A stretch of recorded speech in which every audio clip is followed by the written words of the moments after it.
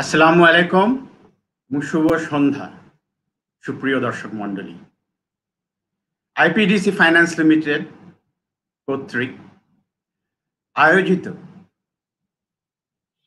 অগ্রজ অনুষ্ঠানে আপনাদের সবাইকে সুস্বাগত আজকের পর্ব নিয়ে মোট আমাদের ছয়টি পর্ব হয়ে যাবে। এর মধ্যে আমরা আমাদের এই পাঁচটি পর্ব যে আপনাদের সামনে পরিবেশন করেছি অনেকেই আমাদের কাছে লিখেছেন, আপনাদের খুব ভালো লাগে। আমাদের যারা অগ্রজ, আমাদের দেশের নক্ষত্র, তাদের গল্পগুলো যারা বাংলাদেশ গড়তে অনেক কাজ করেছেন, অনেক ত্যাগ করেছেন, অনেক পরিশ্রম করেছেন, তাদের গল্পগুলো আমরা আপনাদের কাছে পালাক্রমে নিয়ে আসছি এবং আমরা এই অনুষ্ঠান যতদিন যতদিন আপনারা দেখতে চান, যতদিন আমরা আমাদের মেহমানদের আনতে পারি অনুষ্ঠানে আমরা চালিয়ে যাওয়ার একটা অঙ্গীকার করে যাচ্ছি। সাধারণত এই অনুষ্ঠান প্রত্যেক মাসের প্রথম এবং তৃতীয় বৃহস্পতিবার আয়োজিত হয়। এই মাসে পাঁচটি বৃহস্পতিবার। তো দুটো অনুষ্ঠান আমরা মাসে করতে চাই সেই জন্য আমরা একটা করে ফেলেছি প্রথম বৃহস্পতিবারে এবং আজকে বৃহস্পতিবার বাইশে অক্টোবর আমরা করছি। পরবর্তী অনুষ্ঠান সামনের মাসের প্রথম দিকেই হবে। তো আমাদের আজকের যিনি অতিথি তিনি বাংলাদেশের একজন স্বনামধন্য ব্যক্তিত্ব বিরাট মাপের ব্যক্তিত্ব আমিও বলি যে আমার পিতৃতুল্য। এবং তিনি হলেন প্রফেসর ডক্টর মোহাম্মদ ফারাসুদ্দিন। তো প্রথমে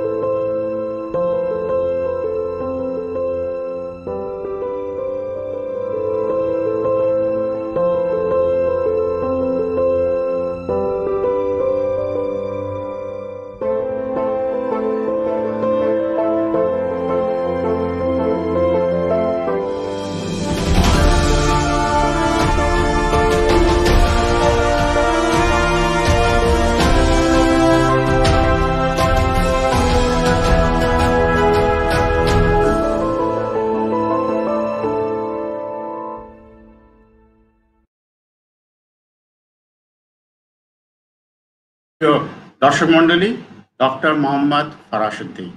প্রথমে আপনাদের কাছ থেকে একটা ক্ষমা চেয়ে নিচ্ছি। সেটা হলো, স্যার আপনারা জানেন, অনেক ব্যস্ত একজন ব্যক্তিত্ব। উনি, আমরা হয়তো এই কথাগুলো পরে বলতাম, উনার মুখে শুনতাম কিন্তু উনার আসতে একটু বিলম্ব হবে। এবং কতটুকু বিলম্ব হবে ওনার কথা ছিল এর মধ্যে চলে আসবেন, কিন্তু এখন আসতে পারেননি। উনি, উনার পিএইচডি এবং মাস্টার্স একটা সেকেন্ড মাস্টার্স ডাবল মাস্টার্স উনি করেছেন। তো করেছিলেন বস্টন ইউনিভার্সিটি ম্যাসাচুসেটস থেকে। এবং আজকে ওই ইউনিভার্সিটিরই একটা অনুষ্ঠান হচ্ছে অ্যাওয়ার্ডস অনুষ্ঠান।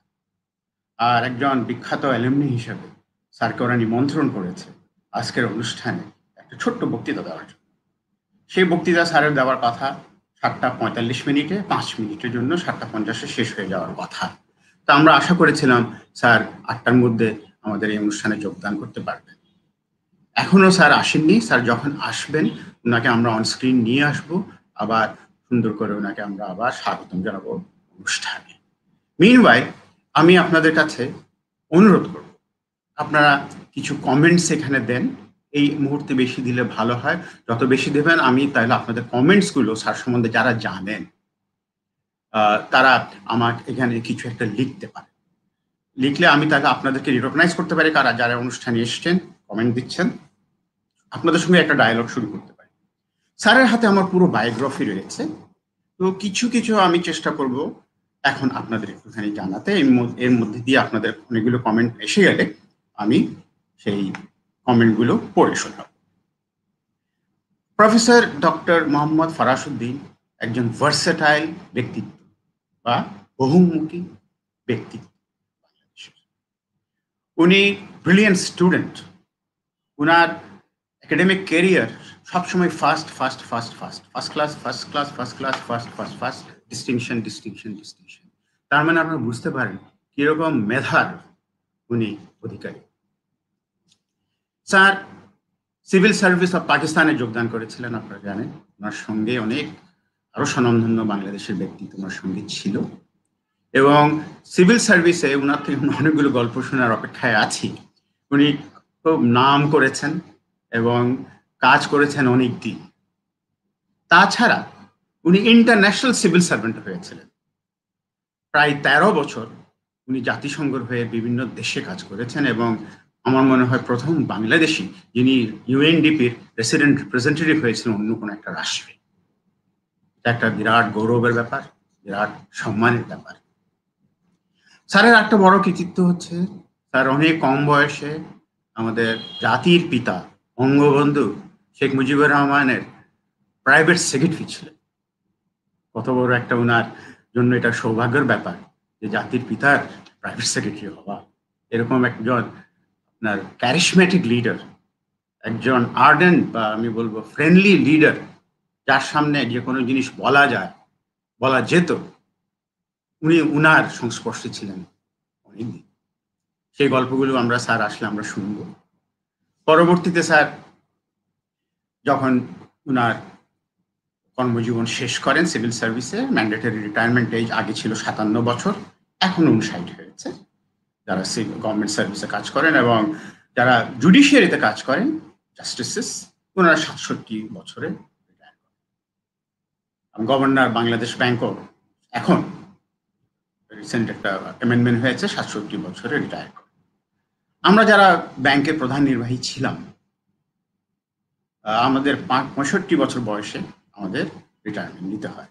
সেভাবে গত বছর ডিসেম্বরের এক তারিখে আমি মিউচুয়াল ট্রাস্ট ব্যাংকের সিইও হিসেবে রিটায়ারমেন্ট নিয়েছি। তো স্যার যখন রিটায়ার করলেন, স্যার কোনোভাবে থেমেছিলেন? স্যার, একটার পর একটা বিভিন্ন কমিশনের উনি চেয়ারম্যান হলেন পাবলিক সার্ভিস কমিশনের চেয়ারম্যান অনেক কিছু। এগুলো আমরা স্যারের থেকে শোনার অপেক্ষায় আছি। কিন্তু স্যার একটা মহৎ কাজ করেছেন sir transform himself into a educator.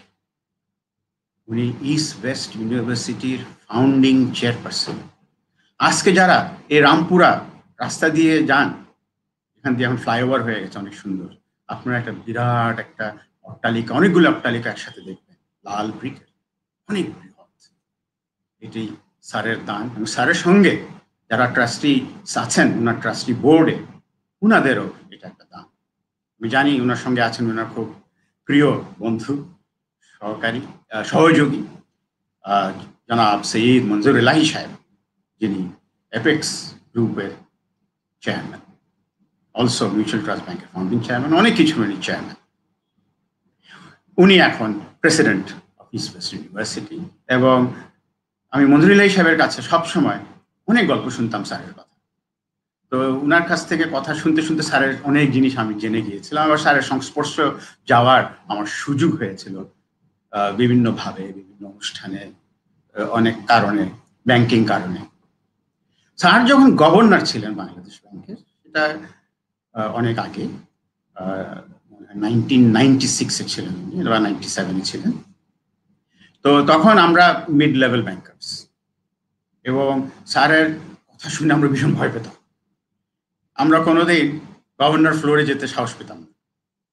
কারণ স্যার একজন প্রিন্সিপাল লোক, ডিসিপ্লিনড লোক। এবং আমরা কোথায় কি ভুল করে ফেলি, একটা বকা খেয়ে যাব। তো সেই ভয়ে আমরা কাছে বেঁচে যেতাম না। প্লাস আমরা তো তো সিনিয়র কেউ না। একমাত্র সিনিয়ররা সিওরা বা additional managing director deputy managing ডিরেক্টররা গভর্নরের সংস্পর্শে যাওয়ার সুযোগ পায়। তো স্যার যখন গভর্নর ছিলেন, উনি খুব স্ট্রিক্ট ছিলেন এবং অনেকগুলো উনি রিফর্ম করেছিলেন বাংলাদেশ ব্যাংকে যেগুলো আমাদের ব্যাংকিং রেগুলেশনের ফাইন্যান্সিয়াল সেক্টর রেগুলেশনের অনেক সুন্দর একটা ধাপ নিয়ে এসছিল কারণ ফাইন্যান্সিয়াল সেক্টর এমন একটা সেক্টর যেটাকে স্ট্রিক্টলি রেগুলেট করতে হবে যে কোনো দেশে। সেটা মার্কিন যুক্তরাষ্ট্র হোক বা যুক্তরাজ্য হোক বা ভারত হোক বা চীন দেশ হোক বা জাপান, বা আমাদের মতো ডেভেলপিং বা আন্ডার ডেভেলপ কান্ট্রিগুলো হোক। আন্ডার আন্ডার ডেভেলপ কান্ট্রি আরও বেশি কঠিনভাবে রেগুলেট করতে হয়, কারণ আমাদের অত ফরেন এক্সচেঞ্জ রিজার্ভস থাকে না। যদিও এখন Bangladesh foreign exchange reserve forty billion dollars রয়েছে যেটা দশ মাসের ইম্পোর্টের সমান। একটা প্রত্যেক বাঙালির জন্য, প্রত্যেক বাংলাদেশের জন্য একটা গৌরবের ব্যাপার। আমাদের ব্যালেন্স অফ পেমেন্টস এখন পজিটিভ টেরিটরিতে আছে। তো তখন আমাদের ফরেন এক্সচেঞ্জ রিজার্ভ ছিল তিন, চার, পাঁচ বিলিয়ন ডলারের বেশি ছিল না। সেজন্য যিনি গভর্নর ছিলেন, তার ওনার সঙ্গে যে ডেপুটি গভর্নর ছিলেন, তাদের সব সময় সজাগ থাকতে হবে খুব যেন রিজার্ভসটা সংরক্ষণ করতে পারে। কারণ ইম্পোর্ট যদি না করতে পারে, তাহলে তো বিপদ। খাদ্য ইম্পোর্ট করতে হতো তখন, আমরা সেলফ সাফিসিয়েন্ট ছিলাম না খাদ্য। অনেক খাদ্য আনতো অনেক চাল আনতে এখন আমরা চালে আমরা সেলফ সাফিসিয়েন্ট হয়ে গেছি সম্পূর্ণ হয়ে গেছি। তো তখন ফরেন এক্সচেঞ্জ রিজার্ভকে ধরে রাখা একটা বিরাট দায়িত্ব ছিল এবং মনিটরি পলিসি ইনফ্লেশন কন্ট্রোল করা একটা বিরাট ব্যাপার ছিল। তখন ইনফ্লেশন ছিল দশ, এগারো পার্সেন্ট এখন ইনফ্লেশন হচ্ছে একটা পাঁচের আশেপাশে। তো এখন আমাদের অনেক স্বর্ণযুগ চলছে। সোনার বাংলাদেশ বঙ্গবন্ধু স্বপ্ন দেখেছিলেন। আমরা অনেকটা স্বপ্নের, সেই স্বপ্নের সোনার বাংলার দিকে আমরা এগিয়ে যাচ্ছি। কারণ আমাদের বাংলাদেশের ম্যাক্রো ইকোনমিক ইন্ডিকেটার্সগুলো আপনারা সবাই জানেন, অনেক শক্ত হয়ে গেছে। এবং আমরা এলডিসি থেকে গ্র্যাজুয়েট করার জন্য প্রস্তুতি নিচ্ছি। এবং আমাদের পার ক্যাপিটা ইনকাম প্রায় দুই হাজার ডলারের ছুঁই ছুঁই করছি। যেখানে পার ক্যাপিটা ইনকাম স্বাধীনতার সময় ছিল, আমার যতটুকু মনে পড়ে, একশো ষাট বা সত্তর ডলার মাত্র। সেখান থেকে আমরা অনেক পথ পেরিয়ে এসেছি। এবং আমাদের প্রত্যেক বাঙালি ভাই, সবাই ভাই বোন সবাই অনেক খাটে, খাটতে পারে। কাজ করতে পারে। সেই জন্য বাংলাদেশের আজকে অবস্থা। লিডারশিপ প্রিয় প্রধানমন্ত্রী শেখ হাসিনা। তো আমরা এখানে এখন এবার কিছু কমেন্টের দিকে যাই। এখানে অনেকগুলো কমেন্টের মধ্যে এসে গেছে। আপনাদেরকে ধন্যবাদ সবাই যারা কমেন্ট করেছেন। আমাদের রেগুলার শ্রোতা এবং বাংলাদেশের একজন স্বনামধন্য মহিলা লিডার পারভিন মাহমুদ এফসিএ যিনি আপনাদের আপনার আমাদের institute of chartered accountants of বাংলাদেশের প্রথম মহিলা সভাপতি হয়েছিলেন। আমরা এখনও শুনলে খুব ভালো লাগে। আরও অনেক কিছুতেই উনি আছেন। অগ্রণী ভূমিকা উনি পালন করছেন। উনিও একজন অপরাজ এবং প্রত্যেক অনুষ্ঠানে উনি প্রশ্ন করেন এবং আজকেও উনি করেছেন। এবং উনি বলছেন যে good evening you want to know unfolded amazing facts from respected doctor Farasud তো ওনার অপেক্ষায় তো আমরা আছি। ওদের আগ্রহে আছি। কখন স্যার আসবেন? আমি সেকেন্ডগুলো গুনছি। Ishtiaque Shariar Shanto waiting for the legend Ananta Kumar Sarkar FCS উনি শুভেচ্ছা জানিয়েছেন। তারপরে মহিউদ্দিন মামুন।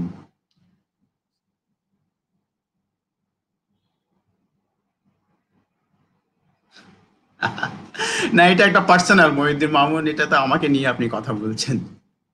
স্যার, আমি আপনাদের আপনার কাছে বিনয়ের সাথে জানতে চাই আপনি কোনো, কোন মন্ত্রে দীক্ষিত হয়ে একজন সফল ব্যাংকার হলেন?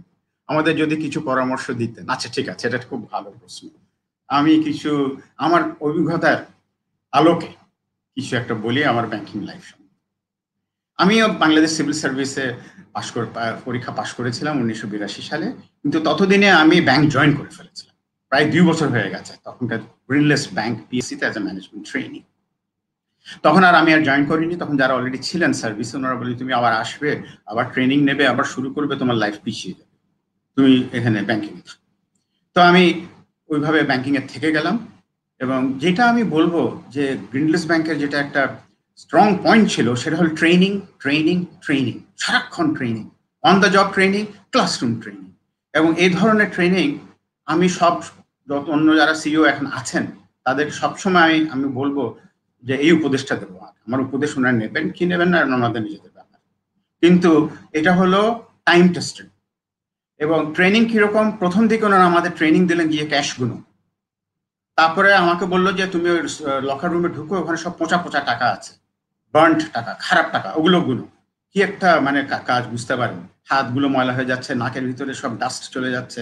তো আমি করেছি ম্যানেজমেন্ট ট্রেনিং হিসেবে। তারপরে বলে, এবার গুনেছো, এবার তুমি এইটা ট্রাঙ্কের মধ্যে নাও, নিয়ে তুমি এখন বাংলাদেশ ব্যাংকে গিয়ে এগুলোকে বদলিয়ে নিয়ে আসো। তখন অত গাড়ি টাড়ি ছিল না। বিশ্বাস করুন, আমি সেই ট্রাঙ্কটা, টাকার ট্রাঙ্কটা রিক্সার মধ্যে নিয়েছি। সঙ্গে একজনকে নিয়েছি, দুজন মিলে রিক্সা করে বাংলাদেশ ব্যাংকে গিয়েছি, গিয়ে তারপরে টাকাগুলো জমা করেছি এবং পরে আমাদের দেয়নি ওরা টাকা তখনই, পরে ওরা গুনে, পরে আমাদের অন্য একদিন সেটা বিনিময় মূল্য আমাদের ওরা দিল। দেখেন আমাদের কোথায় কোথায় ট্রেনিং করেছে। তারপরে ক্লিয়ারিং চেকস ক্লিয়ারিং চেকসগুলো আমাদের ট্যালি করতে হতো কি ক্লিয়ারিং চেক এসছে? কোন ব্যাংকের উপরে? সব আলাদা করে। তারপরে ক্লিয়ারিং হাউস একটা ব্রিফ কেস নিয়ে আমি, আমরা চিফ কেশিয়ারের সঙ্গে আমরা যেতাম। সেইভাবে আমরা শুরু করেছি। তারপরে অ্যাকাউন্ট ওপেনিং কীভাবে অ্যাকাউন্ট ওপেন করতে হয়? তারপরে অ্যাকাউন্ট কম্পিউটারে কীভাবে, তখন কম্পিউটার ছিল না। মানে NCR two nine nine machine ছিল। সেগুলো ওখানে কীভাবে ওপেন করতে হয়? সেখানে আমরা চলে গেলাম এনসিআর টু নাইন নাইন মেশিনে খোলা শেখার জন্য। তারপরে বলো যে, এবার পে অর্ডার করো। মানি ট্রান্সফার করো। তখনকার দিনে অনেক পে অর্ডার করতো। আজকালকার দিনে তো সব ইলেকট্রনিক ট্রান্সফার হয়ে গেছে। এখন ইন্টারনেট ব্যাংকিং হয়ে S M S banking phone banking আপনারা সব এগুলোর সুযোগ পাচ্ছেন through smartphone and computers and laptops তো তখন আমরা অ্যাকাউন্ট ওপেনিং শিখলাম। তারপরে পে অর্ডার কেমনে করতে হবে, কেমনে অ্যাকাউন্টস পাস এন্ট্রি পাস করতে হবে সেগুলো শিখলাম। তারপরে এগুলো শেখার পরে বলে আচ্ছা ঠিক আছে। এই বেসিকটা হয়েছে। এবার চলো পরীক্ষা দিতে। এবার চলো ক্লাসরুমে দুই সপ্তাহ ক্লাসরুমে নিয়ে গেলাম। ওখানে আবার পরীক্ষা তারপরে ফেরত আসলাম, এবার দিয়ে দিল আমাদের guarantee department foreign currency department প্রথম দিকে। তারপরে দিল ইম্পোর্ট এক্সপোর্ট এখন এগুলো শিখো, এগুলো করো। তারপর আবার নিয়ে গেল ট্রেনিং সেশনে সেখানে আবার ট্রেনিং হলো। এইভাবে করতে করতে প্রত্যেক মাসে পরীক্ষা নিতে নিতে এপ্রেজেল করতে করতে আমাদের কনফার্ম আমি যখন কনফার্ম হলাম at the age of twenty seven O twenty eight তখনকার দিনে অনেক দিন লাগতো পাশ করতে ইউনিভার্সিটিতে আপনারা জানেন সেটা। তখন I was one of the first manager হলাম, যে কোনো একটা ব্রাঞ্চের তখন বলাগা সিনেমা বিল্ডিং এর নিচের তলায় ন্যাশনাল অ্যান্ড গ্রিনলেস ব্যাংকের একটা ব্রাঞ্চ ছিল। সেই ব্রাঞ্চে আমি গেলাম। সেটা কিন্তু ঢাকা ইউনিভার্সিটি পড়া অবস্থায় আমার এমনি ব্যাংক অ্যাকাউন্ট ওখানে ছিল, আমি ওখানে যেতাম। ওখানে ক্যাশিয়াররা ছিল। তো যখন আমি গেলাম, ওখানে একজন ম্যাজিশিয়ান ছিল, উনি মানে হবিতে ম্যাজিশিয়ান বাট এমনি কাজে উনি ব্যাংক এমপ্লয়ি উনি ছিলেন ওখানে কেশিয়ার আরেকজন ছিলেন দুজন কেশিয়ার ছিলেন। ওনারা আমাকে ভালো জানতেন ইউনিভার্সিটি আমল থেকে। আমাকে দেখে ওরা অবাক। এই কদিন আগে চ্যাংরাপোলা দেখেছি ছোট ছেলে। এই ইউনিভার্সিটি পড়ছে। আজকে আমাদের ম্যানেজার হিসাবে চলে আসছে। এই কি এই কি এই কি? তো তো প্রথম দিকে আমি তো বুঝতে পারলাম যে একটু সময় লাগবে। But I was very respectful বলেছি, আপনাদের কাছ থেকে আমি শিখতে এসেছি। আপনারা আমাকে শিখাবেন। এক মাস পরে বিশ্বাস করুন ওনারা আমার বেস্ট ফ্রেন্ড হয়ে গেলেন। ওনারা আমাকে শিখালেন অনেক কিছু এবং খুব তাড়াতাড়ি আমি শিখতে পারলাম ওনাদের কাছ থেকে। এই ছিল ট্রেনিং ট্রেনিং ট্রেনিং তারপরে শুরু হয়ে গেল বিভিন্ন জায়গায় পোস্টিং পোস্টিং এর পরেই করে কি ব্যাংক বিদেশে পাঠিয়ে দেয়। তখন এখানে রিজিওনাল ট্রেনিং সেন্টার ছিল ব্যাংকের আপনার বম্বেতে তো বম্বেতে বিভিন্ন দেশের লোক আসতো। ভারতের লোক তো ছিলই। তারপরে গ্রিস থেকে আসতো তাইওয়ান থেকে আসতো হংকং থেকে আসতো। তারপরে আপনার মালয়েশিয়া থেকে আসতো। তারপরে আরও অনেক দেশ থেকে আসতো। অনেকে আমরা, তখন আমরা খুব বন্ধুত্ব হয়ে যেত আমাদের মধ্যে একসাথে তো একটা হোটেলে থাকতাম এক মাস। এবং এই কোর্সগুলো করতাম, খুব কম্পিটিশন হতো। এভাবে আমরা কোর্সগুলো করতাম। তো বারবার এই কোর্সটা করতাম, ফেরত আসতাম। আবার অন্য একটা পোস্টিং দিলেই আবার সেই রেলেভেন্ট কোর্স আমাদের পাঠিয়ে দিত। এইভাবে আমাদের both on the job and classroom training দেশে, বিদেশে খুব স্ট্রং হয়ে গেল।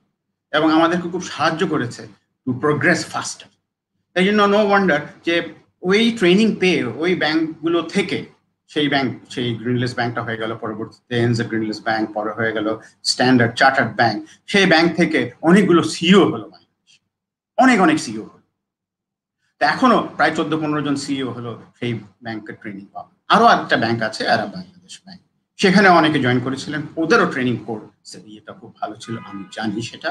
এবং ওখানকারই অনেকেই সিও হয়েছেন বিভিন্ন ব্যাংকে আগে হয়েছেন বিফোর গ্রিনলেস ব্যাংক পিপল সেই জন্য আমি এবি ব্যাংকেও অনেক শ্রদ্ধা জানাই এবি ব্যাংকে যারা ছিলেন তাদের শ্রদ্ধা জানাই, সম্মান জানাই। তো আজকেও এবি ব্যাংকের অনেক লোকজন আছে যারা এখন সিইও বিভিন্ন জায়গায়, ওদের ট্রেনিং সেই জন্য আমি বলব সবাইকে training must be very very strong আরেকটা হলো অনেস্টি অ্যান্ড ইন্টিগ্রিটি অনেস্টি ছাড়া কোনো কথা, আপনার ভুল হবে। ভুল তো হবেই, মানুষ মাত্র ভুল।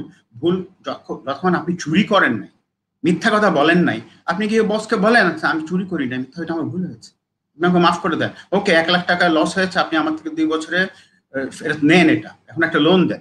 এভাবে কিন্তু আমরা করেছি। একবার আমাদেরই একজন বন্ধু সে একটা ছোট্ট বুথের ম্যানেজার ব্রাঞ্চের ম্যানেজার এবং সেই ওই টাকাটা পঞ্চাশ হাজার টাকা চেক দিয়েছিল, সে ভুলে দুই লাখ টাকা দিয়ে দিয়েছে। ভুলে। পরে ওই লোকটাকে আর খুঁজে পায় না। তখনকার দিনে তো এত স্ট্রং ছিল না K KYC anti money laundering guidelines এত ঠিকানা, এত সেলফোন কোনো মতো খুঁজে পাওয়া যায় না। পরবর্তীতে আমরা তাকে দেড় লাখ টাকা লোন দিলাম, সেই লোন সে দুই তিন বছর শোধ করেছে। ডিড নট স্টিল আজকে আল্লাহর মধ্যে সে একটা বিরাট এক ফাইন্যান্সিয়াল ইনস্টিটিউশনের সিইও হিসাবে সুন্দরভাবে কাজ করছে। তো কথা হচ্ছে যে সততা সততা সততা যেটা ডক্টর ফারাসুদ্দিন সাহেব সবসময় এটার উপরে আপনার জোর দেন। তো এইভাবেই যদি কাজ করতে থাকেন এবং সবসময় নলেজ জ্ঞান তারপর আমরা কাজ করতে করতে হঠাৎ টেকনোলজি আসলো। আমরা যদি টেকনোলজির সঙ্গে পাল্লা দিয়ে না শিখতাম, আমরা তো ঝরে যেতাম অনেক আগে। সো টেকনোলজি ফ্রেন্ডলি হতে হবে কম্পিউটার ফ্রেন্ডলি হতে হবে। চিঠি ছেড়ে আমরা আমরা অ্যাকচুয়ালি দেখেছি, নতুন জেনারেশন এগুলো দেখেনি। আমরা তো দেখেছি, আগে চিঠি লিখতাম। তারপরে আমরা ইমেল যখন আমি প্রথম ইমেল আসলো, আমি একটা ইমেল পাঠালাম, আমাদের একজন সিনিয়র পরবর্তী উনিও ব্যাংক এমডি হয়েছিলেন, উনি মারা গেছেন ফেরত কামনা করে। উনি আমাকে নিয়ে হাসাহাসি করেছিলেন, আমি কেন ইমেল দিলাম? এই যে, দেখো এই ইমেল দেয় খুব হাসাহাসি হয়েছিল আমাকে নিয়ে, আমি কেন ইমেল লিখি? তা আজকে কেউ চিঠি লেখে? ইমেলও তো আপনারা লিখতে চান না এখন। এখন তার সবাই হোয়াটসঅ্যাপ ওয়াইবার এবং অন্যান্য সামাজিক মাধ্যমের মেসেঞ্জার এগুলো আমরা ব্যবহার তো সবসময় ব্যাংকিংয়ে আপনারা সততা অবলম্বন করবেন, শিখতে থাকবেন নতুন টেকনোলজি বিদেশে কি হচ্ছে আমেরিকায় কি হচ্ছে আমাদের জানা দরকার নাই ইন্ডিয়া শ্রীলঙ্কাতে কি হচ্ছে পাকিস্তানেও কি হচ্ছে আমাদের দেখা উচিত থাইল্যান্ডে কি হচ্ছে দেখা উচিত, তারপর আমাদের, আমরা we can easily copy them and makes banking successful Bangladesh আর একটা হলো কাস্টমার সঙ্গে ব্যবহার, ভালো ব্যবহার, সব সময় কাস্টমার রাইট কাস্টমার আপনার বকা দিতে পারে। কিছুই বলতে পারবেন না। পরবর্তীতে কাস্টমার নিজেই আপনার কাছে ক্ষমা চাইবে। পরে দেখা হলো যে, আপনি আমাকে তখন বকা দিয়েছিলেন। আশা করি আপনি এখন বুঝবেন যে, আমি, আমার ভুল ছিল বা আমার ভুল ছিল। আমি ক্ষমা চাচ্ছি এটাই হোক। যে কোনো দুটা পথ আপনি অবলম্বন করতে পারেন। এবং লাইফ লং রিলেশনশিপ মেনটেন করা কাস্টমার্স কারণ আমার মনে আছে একজন একজন বিরাট কংগ্লোমারেটের উনি এখন সত্ত্বাধিকারী অনেক কিছু চেয়ারম্যান তখন ওনার শুধু একটা শিপিং কোম্পানি ছিল মাত্র শুরু করব তখন আমি চট্টগ্রামে কাজ করি। উনি রেগুলার চট্টগ্রামে গিয়ে আমার সামনে বসতেন। আজকে উনি কাজ করতে করতে করতে কত বড় হয়ে গেছে। এবং উনার সঙ্গে আমার অন্যান্য বিভিন্ন অর্গানাইজেশনে কাজ করার অনেক সুযোগ হয়েছে। তার মানে তখন যে আমি সম্পর্কটা গড়েছিলাম, তখন যে ওনাকে আমি সার্ভিসটা দিয়েছিলাম ওটি ওটা মনে মনে রেখেছি এবং অন্যান্য কাজ করতে গিয়ে ওনার সঙ্গে অনেক আমার সুবিধা হয়েছে। তো আপনারা পড়াশোনা করবেন, সততা রাখবেন। যারা ব্যাংকার ভাই জুনিয়র ভাই বোন আছেন এখানে, শুনছেন। শিখবেন অল দ্য টাইম এবং রিলেশনশিপ করবেন নেটওয়ার্ক ভেরি ভেরি ইম্পর্টেন্ট এবং কমপ্লায়েন্স ইজ এক্সট্রিমলি ইম্পর্টেন্ট যদি আপনারা রেগুলেশন না জানেন কমপ্লায়েন্স না জানেন ঝরে আচ্ছা এবার দেখি মহিউদ্দিন মামুন, আশা করি অনেক কথা বললাম। তো আপনার প্রশ্নের সেগুলোর উত্তর আপনি পেয়েছেন। তারপর অনেকগুলো শুভেচ্ছা এসছে মোহাম্মদ ইসাক তারপরে কাজী নবিউল হক, তারপরে Sakib Noor Rashidur Roni Sakib Noor, it's amazing to learn the stories from the initial part of your listed career. Really very inspiring. Actually, it's not about me, this program.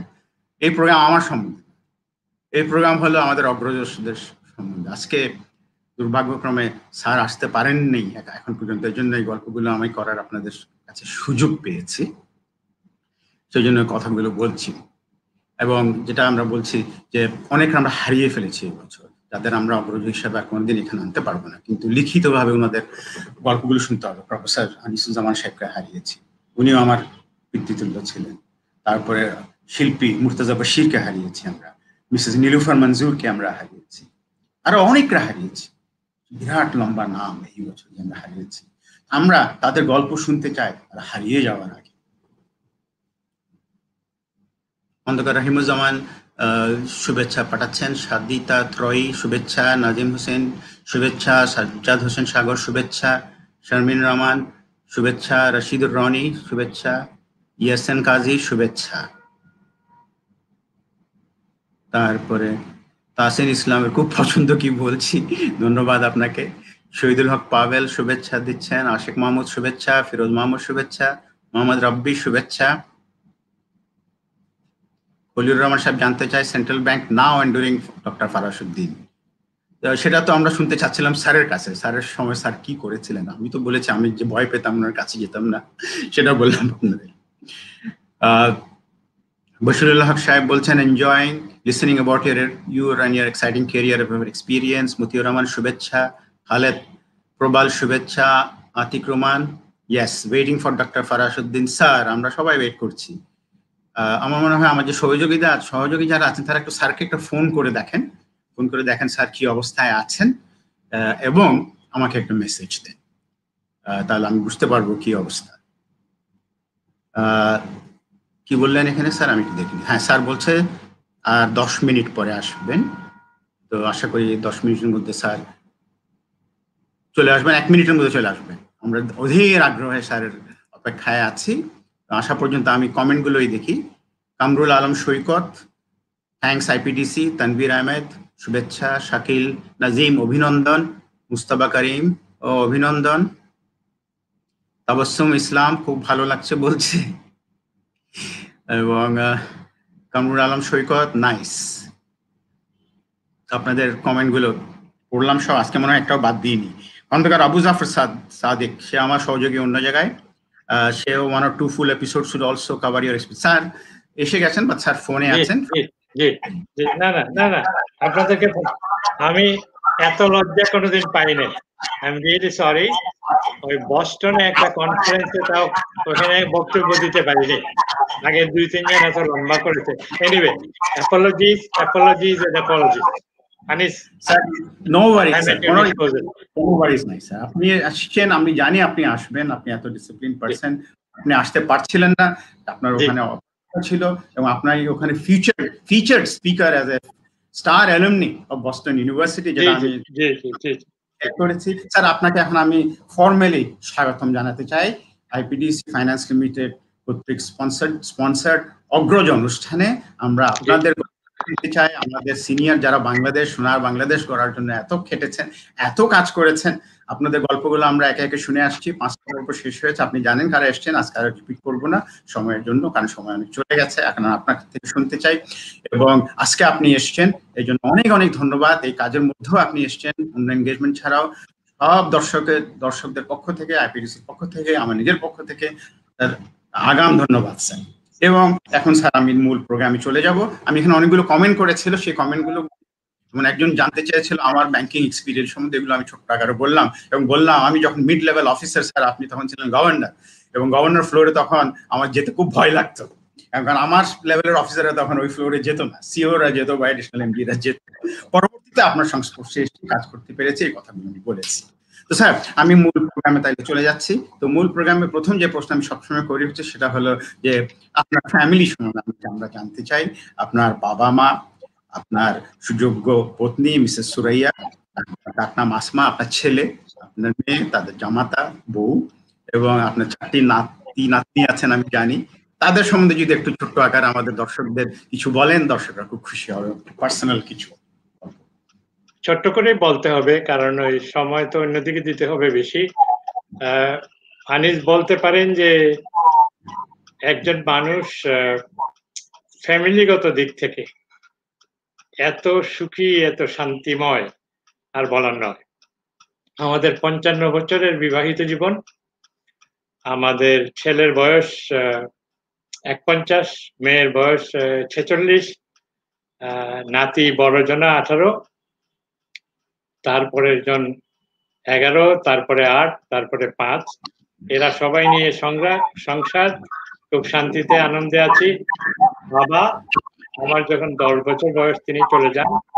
মা সত্যিকার ভাবেই আমাকে মানুষ করেছেন। যদি মানুষ হয়ে থাকি টাকা পয়সার সমস্যা ছিল না, কিন্তু গাইডেন্সের তিনি সবসময় মনে করতেন, তার ছেলে আমি অনেক বড় হওয়া দরকার। আমার মধ্যে অনেক কিছু আছে। এবং আমি যতটুকু অগ্রসর হতে পেরেছি, তার অনেকটাই কৃতিত্ব কিন্তু আমার মায়ের। আর আমি যদি সৎ হয়ে থাকি, স্বচ্ছ হয়ে থাকি, সজ্জন লোক হয়ে থাকি, তার সবটা কৃতিত্ব আসবা আপনাদেরকে অনেক ধন্যবাদ, এখন আবার প্রোগ্রামে চলে যান। স্যার, আপনি স্বচ্ছ সব দিক দিয়ে আপনার স্বচ্ছ, সেটা সবাই জানে বাংলাদেশে, যেটা সবাই আমরা অনুকরণ করতে আমি চাই আপনাকে সারা জীবন অনুকরণ করতে। আপনার ধাপে ধাপে যেন চলতে পারি সারা জীবন যেটা বাকি রয়েছে। আপনার যে স্যার, এরপর আমরা জানতে চাইব, আমরা খুব খুশি লাগল স্যার আপনি যেটা বললেন এবং আন্টি সম্বন্ধে যেটা বললেন খুব ভালো লাগল। তো আপনার আম্মা সম্বন্ধে যেটা বললেন সেটা খুব ভালো লাগল আপনার আম্মার জন্য, আপনার আজকে এই অবস্থান। বাবা খুব অল্প বয়সে মারা গেছেন। এবার আমরা জানতে চাবো আপনার শিক্ষা জীবন সম্বন্ধে। স্যার, আপনার স্কুল জীবন সম্বন্ধে আমি কোথায় কোনো কিছু খুঁজে পাইনি আমার রিসার্চে আমি জানি আপনি ঢাকা ইউনিভার্সিটি থেকে পাশ করেছেন ইকোনমিক্সে পরবর্তীতে Boston University double M PhD করেছেন। তো আপনার মুখে একটু শুনতে চাই আপনার প্রথম থেকে শিক্ষা জীবন সম্বন্ধে। আপনি, এই সঙ্গে আমি আমার প্রশ্নটা একসাথে মিলিয়ে দিই, কারণ নর্মালি অন্য সময় হলে টাইম থাকলে বলতাম।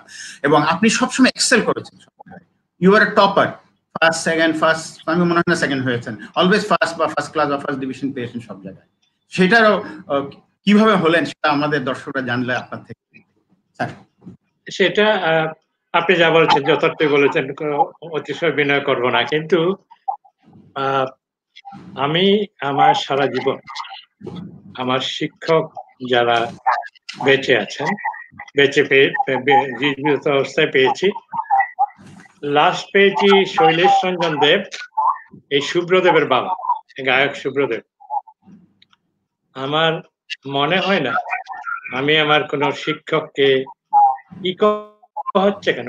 টেলিফোনের জন্য টেলিফোনটা একটা সরাই দেয়।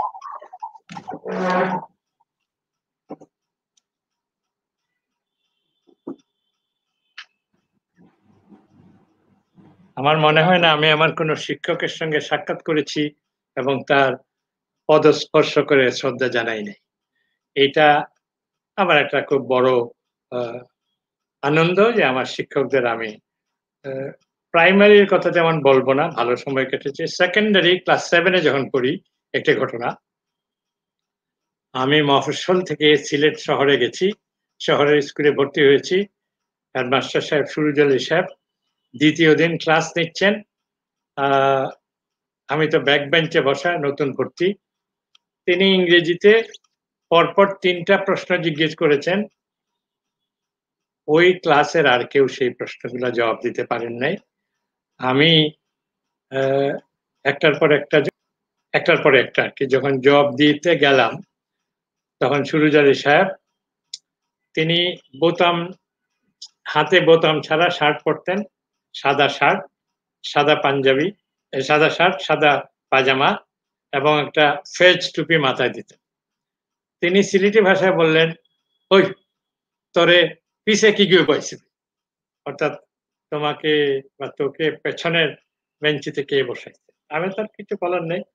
আমাকে সামনে নিয়ে এসে প্রথম শ্রেণির প্রথম ছাত্র যেখানে বসে সেইখানে বসালেন এবং আনিস আপনাকে এবং আপনার আমার শ্রদ্ধাভাজন দর্শক শ্রোতাদের বলতে পারি, ওই যে জীবনে একটা বড় ধাক্কা, উপরের দিকে যে একটা একটা যে ফিলিপ, এইটা আমাকে কিন্তু খুব বড় ধরনের উৎসাহ, অনুপ্রেরণা দিয়েছে এবং আমাকে প্র্যাকটিক্যালি পেছন ফেলে তাকাতে হয় নাই দ্বিতীয় যে মন্তব্যটা করব সেটা হলো, পড়ালেখা কোনোদিন ফেলে রাখি নাই দিনের পড়াটা দিনে পড়েছি, খুব চমৎকার। নোট নিতে পারতাম, অনেকে এখনও বলেন।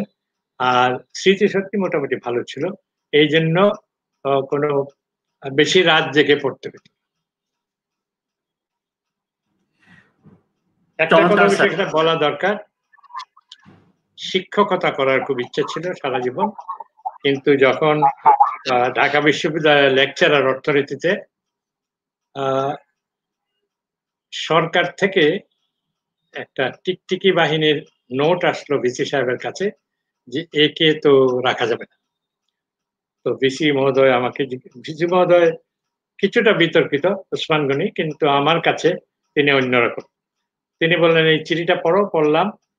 বললেন এক বছর, আমি এক বছর এই চিঠিখানা ড্রয়ারে রাখলাম, কেউ জানবে না, এক বছরে ঠিক করো। তো ঠিক করলাম প্রফেসর নুরুল হুদার মাধ্যমে। আমাদের শিক্ষক, আমাদের গুরু, তিনি তখন খুব ডাক সাইটে অর্থমন্ত্রী। তিনি ঠিক করে আনলেন বটে, কিন্তু গোয়েন্দারা লেখলো, গোয়েন্দারা কেন এটা করল?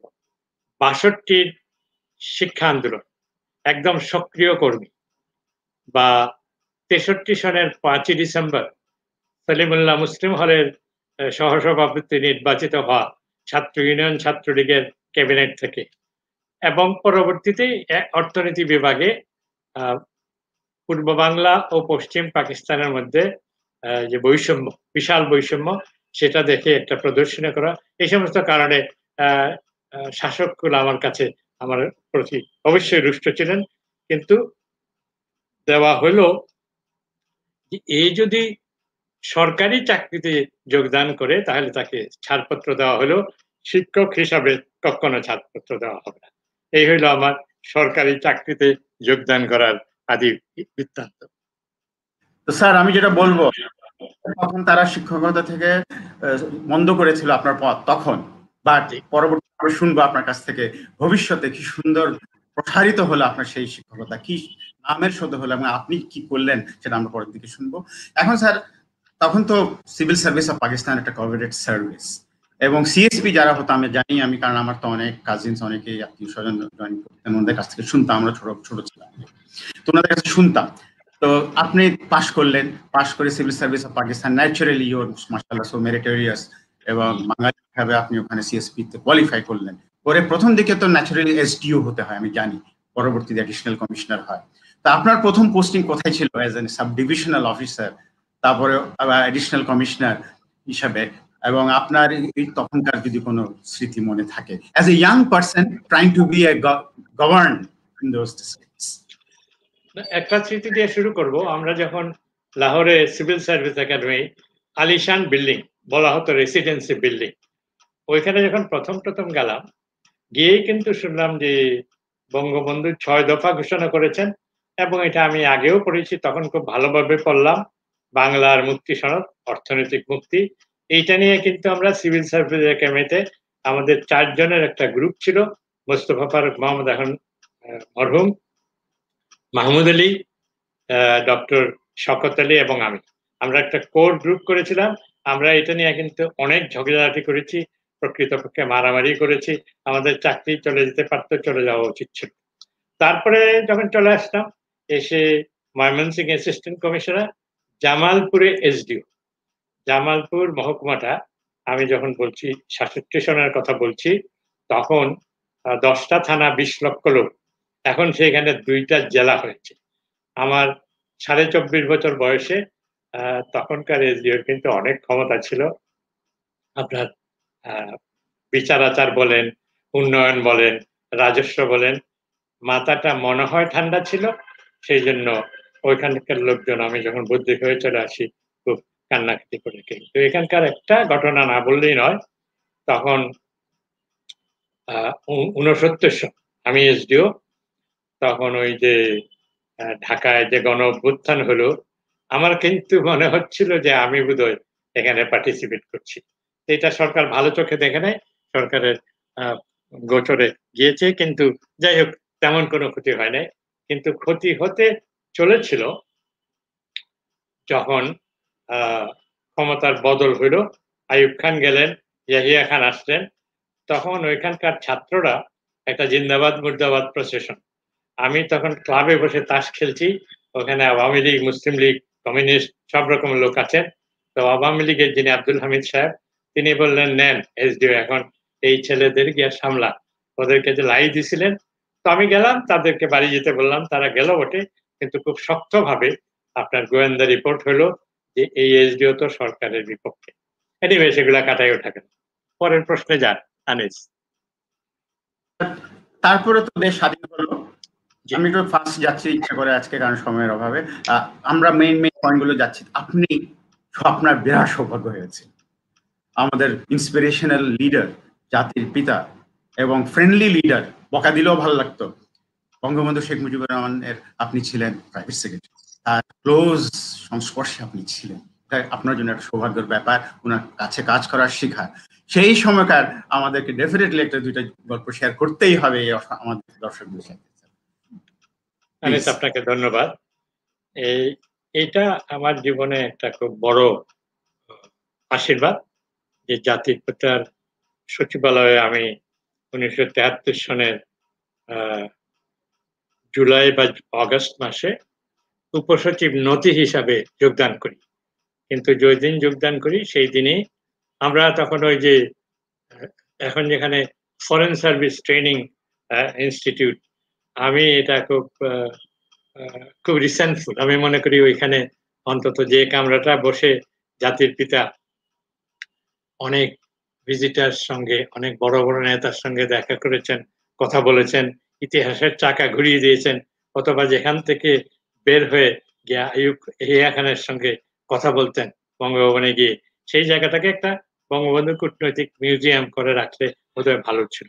তো ওইখানে বিকালবেলা তিনটার সময় যেতে বলেন।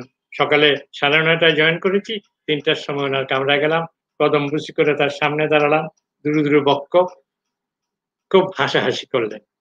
ছাত্র ইউনিয়নের বলা ছাত্রলীগের সবাই দেখে ভালো বলে। ব্যাপারটা কি? জামালপুরের এসডিও, তারা তো শাসাক বলে না। বলে যে সে আমাদেরই একজন ছিল।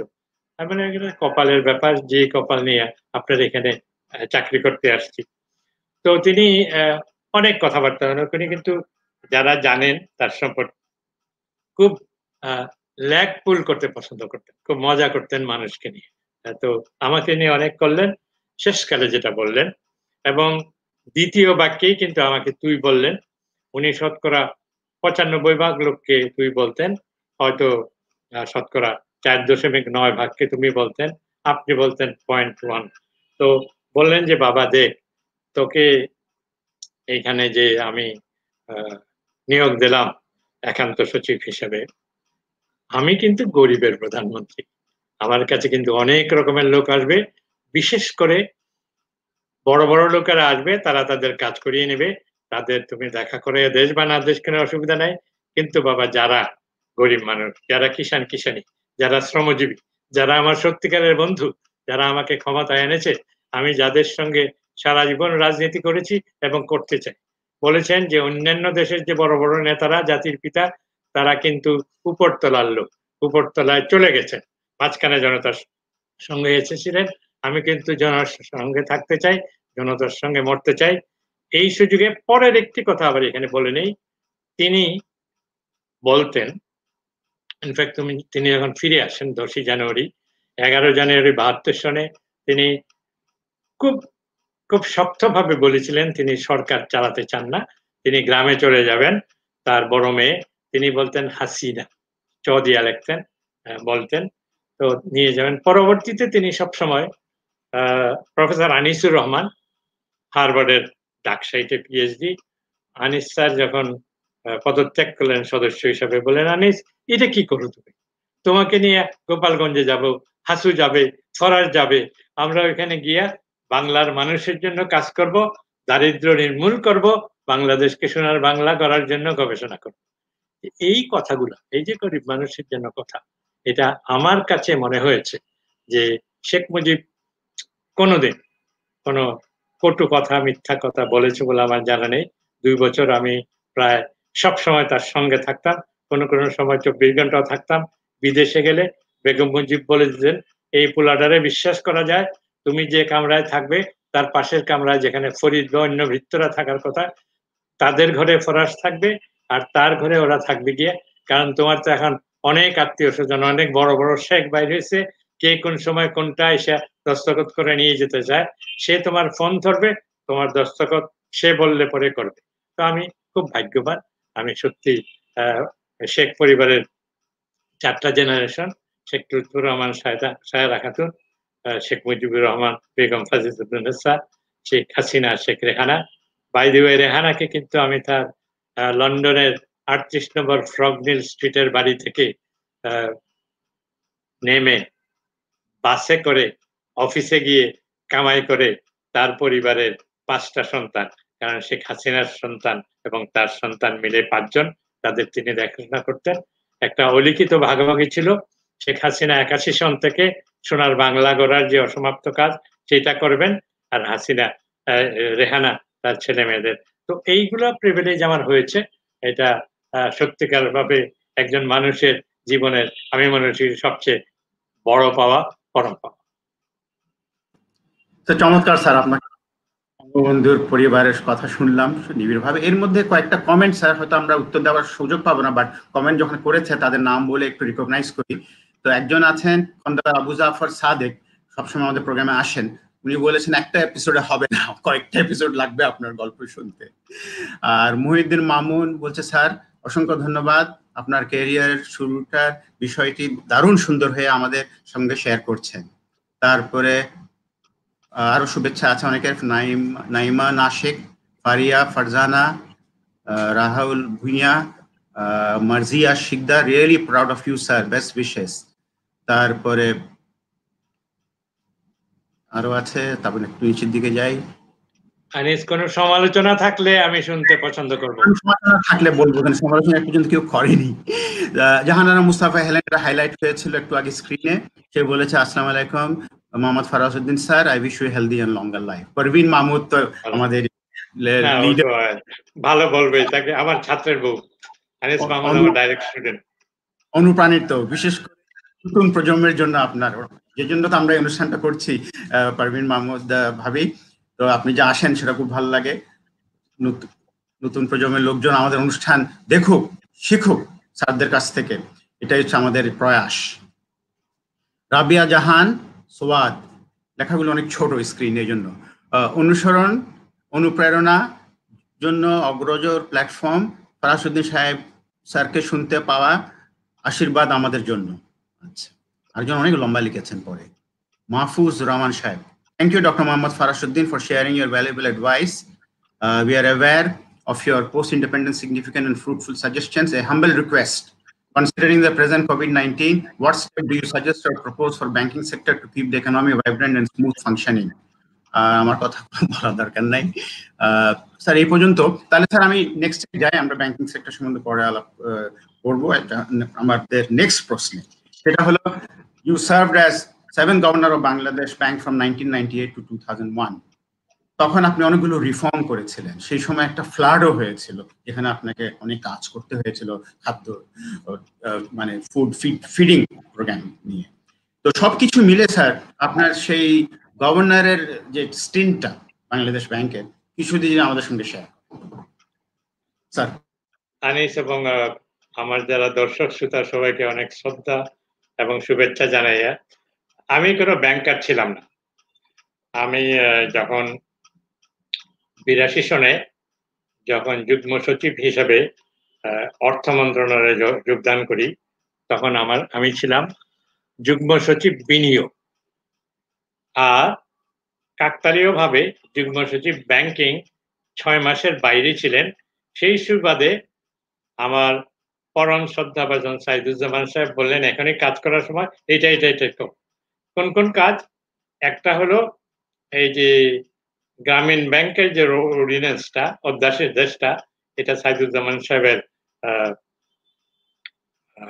দিক নির্দেশনায় আমার হাতে লেখা। তখন ব্যাংকিং খাত এবং বিমা খাত বেসরকারি খাতে দেওয়া হচ্ছে। আমি কিন্তু কট্টরভাবে তখনও পর্যন্ত পাবলিক সেক্টরের লোক। কিন্তু আপনাকে বলতে পারি, আনিস, আমার ধর্ম একেবারে সরকারের নীতি অক্ষরে অক্ষরে পালন করেছি। এক- আমার আমার মতো তখন কিন্তু কোনো ব্যাংকিং ডিভিশন ছিল না কোনো সিকিউরিটি এক্সচেঞ্জ কমিশন ছিল না। একটা ঘটনা বলি। আহ, আজিজুজ্জামা তিনি এই যে বাংলাদেশ জেনারেল ইন্স্যুরেন্স কোম্পানিটা করলেন তা কিছু বোধহয় আমাদের আত্মীয় হয়, আমি পরে শুনেছি, আমার শ্বশুরের পক্ষ থেকে শুনেছি, আত্মীয় ছিলেন। তার এই কন্ট্রোলার অফ ক্যাপিটাল ইস্যুজের যে ইস্যুটা যে চিঠিটা, এটা রেডি হওয়ার পরে আমি ওনাকে ফোন করেছি যে এইটা রেডি হয়েছে, আপনারা কি একজন লোক পাঠিয়ে নেবেন? না, আমরা মেসেঞ্জার দিয়ে পাঠাবো। তিনি বললেন যে, বাবা, আপনি তো আমার চেয়ে অনেক ছোট। কিন্তু আমার জন্য কিন্তু একটা আদর্শ হয়ে থাকলেন এই রকম কোনোদিন কোনো আমলা কাজটা করে দিয়ে যাদের জন্য কাজ সেটা তাদেরকে জানাবে, এটা কিন্তু অবিশ্বাস্য। তেমনি ভাবে আপনার আইপিডিসি তার প্রস্তাবটা বলব কয়েক মাস, সম্ভবত নয় মাস আটকে ছিল। আমি যোগদান করার পরে পরে এটা শুনেছি, আমার কাছে আসছে। বিশেষ করে যখন দেখেছি আইএফসি আছে এবং এশিয়ান ডেভেলপমেন্ট ব্যাংক আছে, আমি কিন্তু তিন চার দিনের মধ্যে ওই কাজটা, এটা অনুমোদনটা করিয়ে দিতে পেরেছিলাম। আমার মনে আছে তখন ছয়জন যুগ্ম সচিব প্রত্যেক সপ্তাহে সাইদুজ্জামান সাহেব আমাদের সঙ্গে নিয়ে বসতেন। আমার যখন দ্বিতীয় সপ্তাহের মিটিং তখন কে এম আহমদ, তিনি এক্সপেন্ডিচার কন্ট্রোল দেখতেন তিনি বললেন, স্যার সাইদুজ্জামান সাহেবকে, এই ফরাসুদ্দিন আসছে, গভর্নমেন্টকে লাঠি তুলবে। কেন কেন কেন? বলে তো সবকিছু ইয়েস বলে দেয়। আমি মনির ভাই, আপনারা তো চাকরিটা করেছেন পরাধীন আমলে, এখন তো স্বাধীন দেশ। তো এই রকমের একটা মনোবাসনা নিয়ে আমি ছিলাম। আমি কিন্তু একটি ছোট্ট কথা না বললেই নয় একানব্বই সনে যখন আওয়ামী লীগ নির্বাচনে জিততে পারল না আমি তখন জাতিসংঘে, তখন সরকারের যে আমার প্রেশনটা ছিল, এটা বাদ দিয়ে পেনশন নিয়ে নিলাম এবং জাতিসংঘে স্থায়ী হয়ে গেলাম। কিন্তু নাইনটি সিক্স এর পরে আসলাম ফিরে। জাতিসংঘ থেকে আবার তখন কিন্তু ছিয়ানব্বই, আটানব্বই, আটানব্বইতে আমি সরকারি চাকরিতে আবার ঢুকি। তার এই দুই বছর কিন্তু মাননীয় প্রধানমন্ত্রী জনবন্ধু শেখ হাসিনার সঙ্গে আমার খুব একটা, আমি বলব যে তর্ক বিতর্কের সম্পর্ক ছিল। অনেক সম্মান করতেন, স্নেহ করতেন আমার সাত বছরের ছোট। এমনও হয়েছে, আমি বলছি যে আপনি অমুক অমুক অমুক যদি গ্রেপ্তার না করেন, তাহলে কিন্তু ল অ্যান্ড অর্ডার একেবারে গোল্লায় যাবে।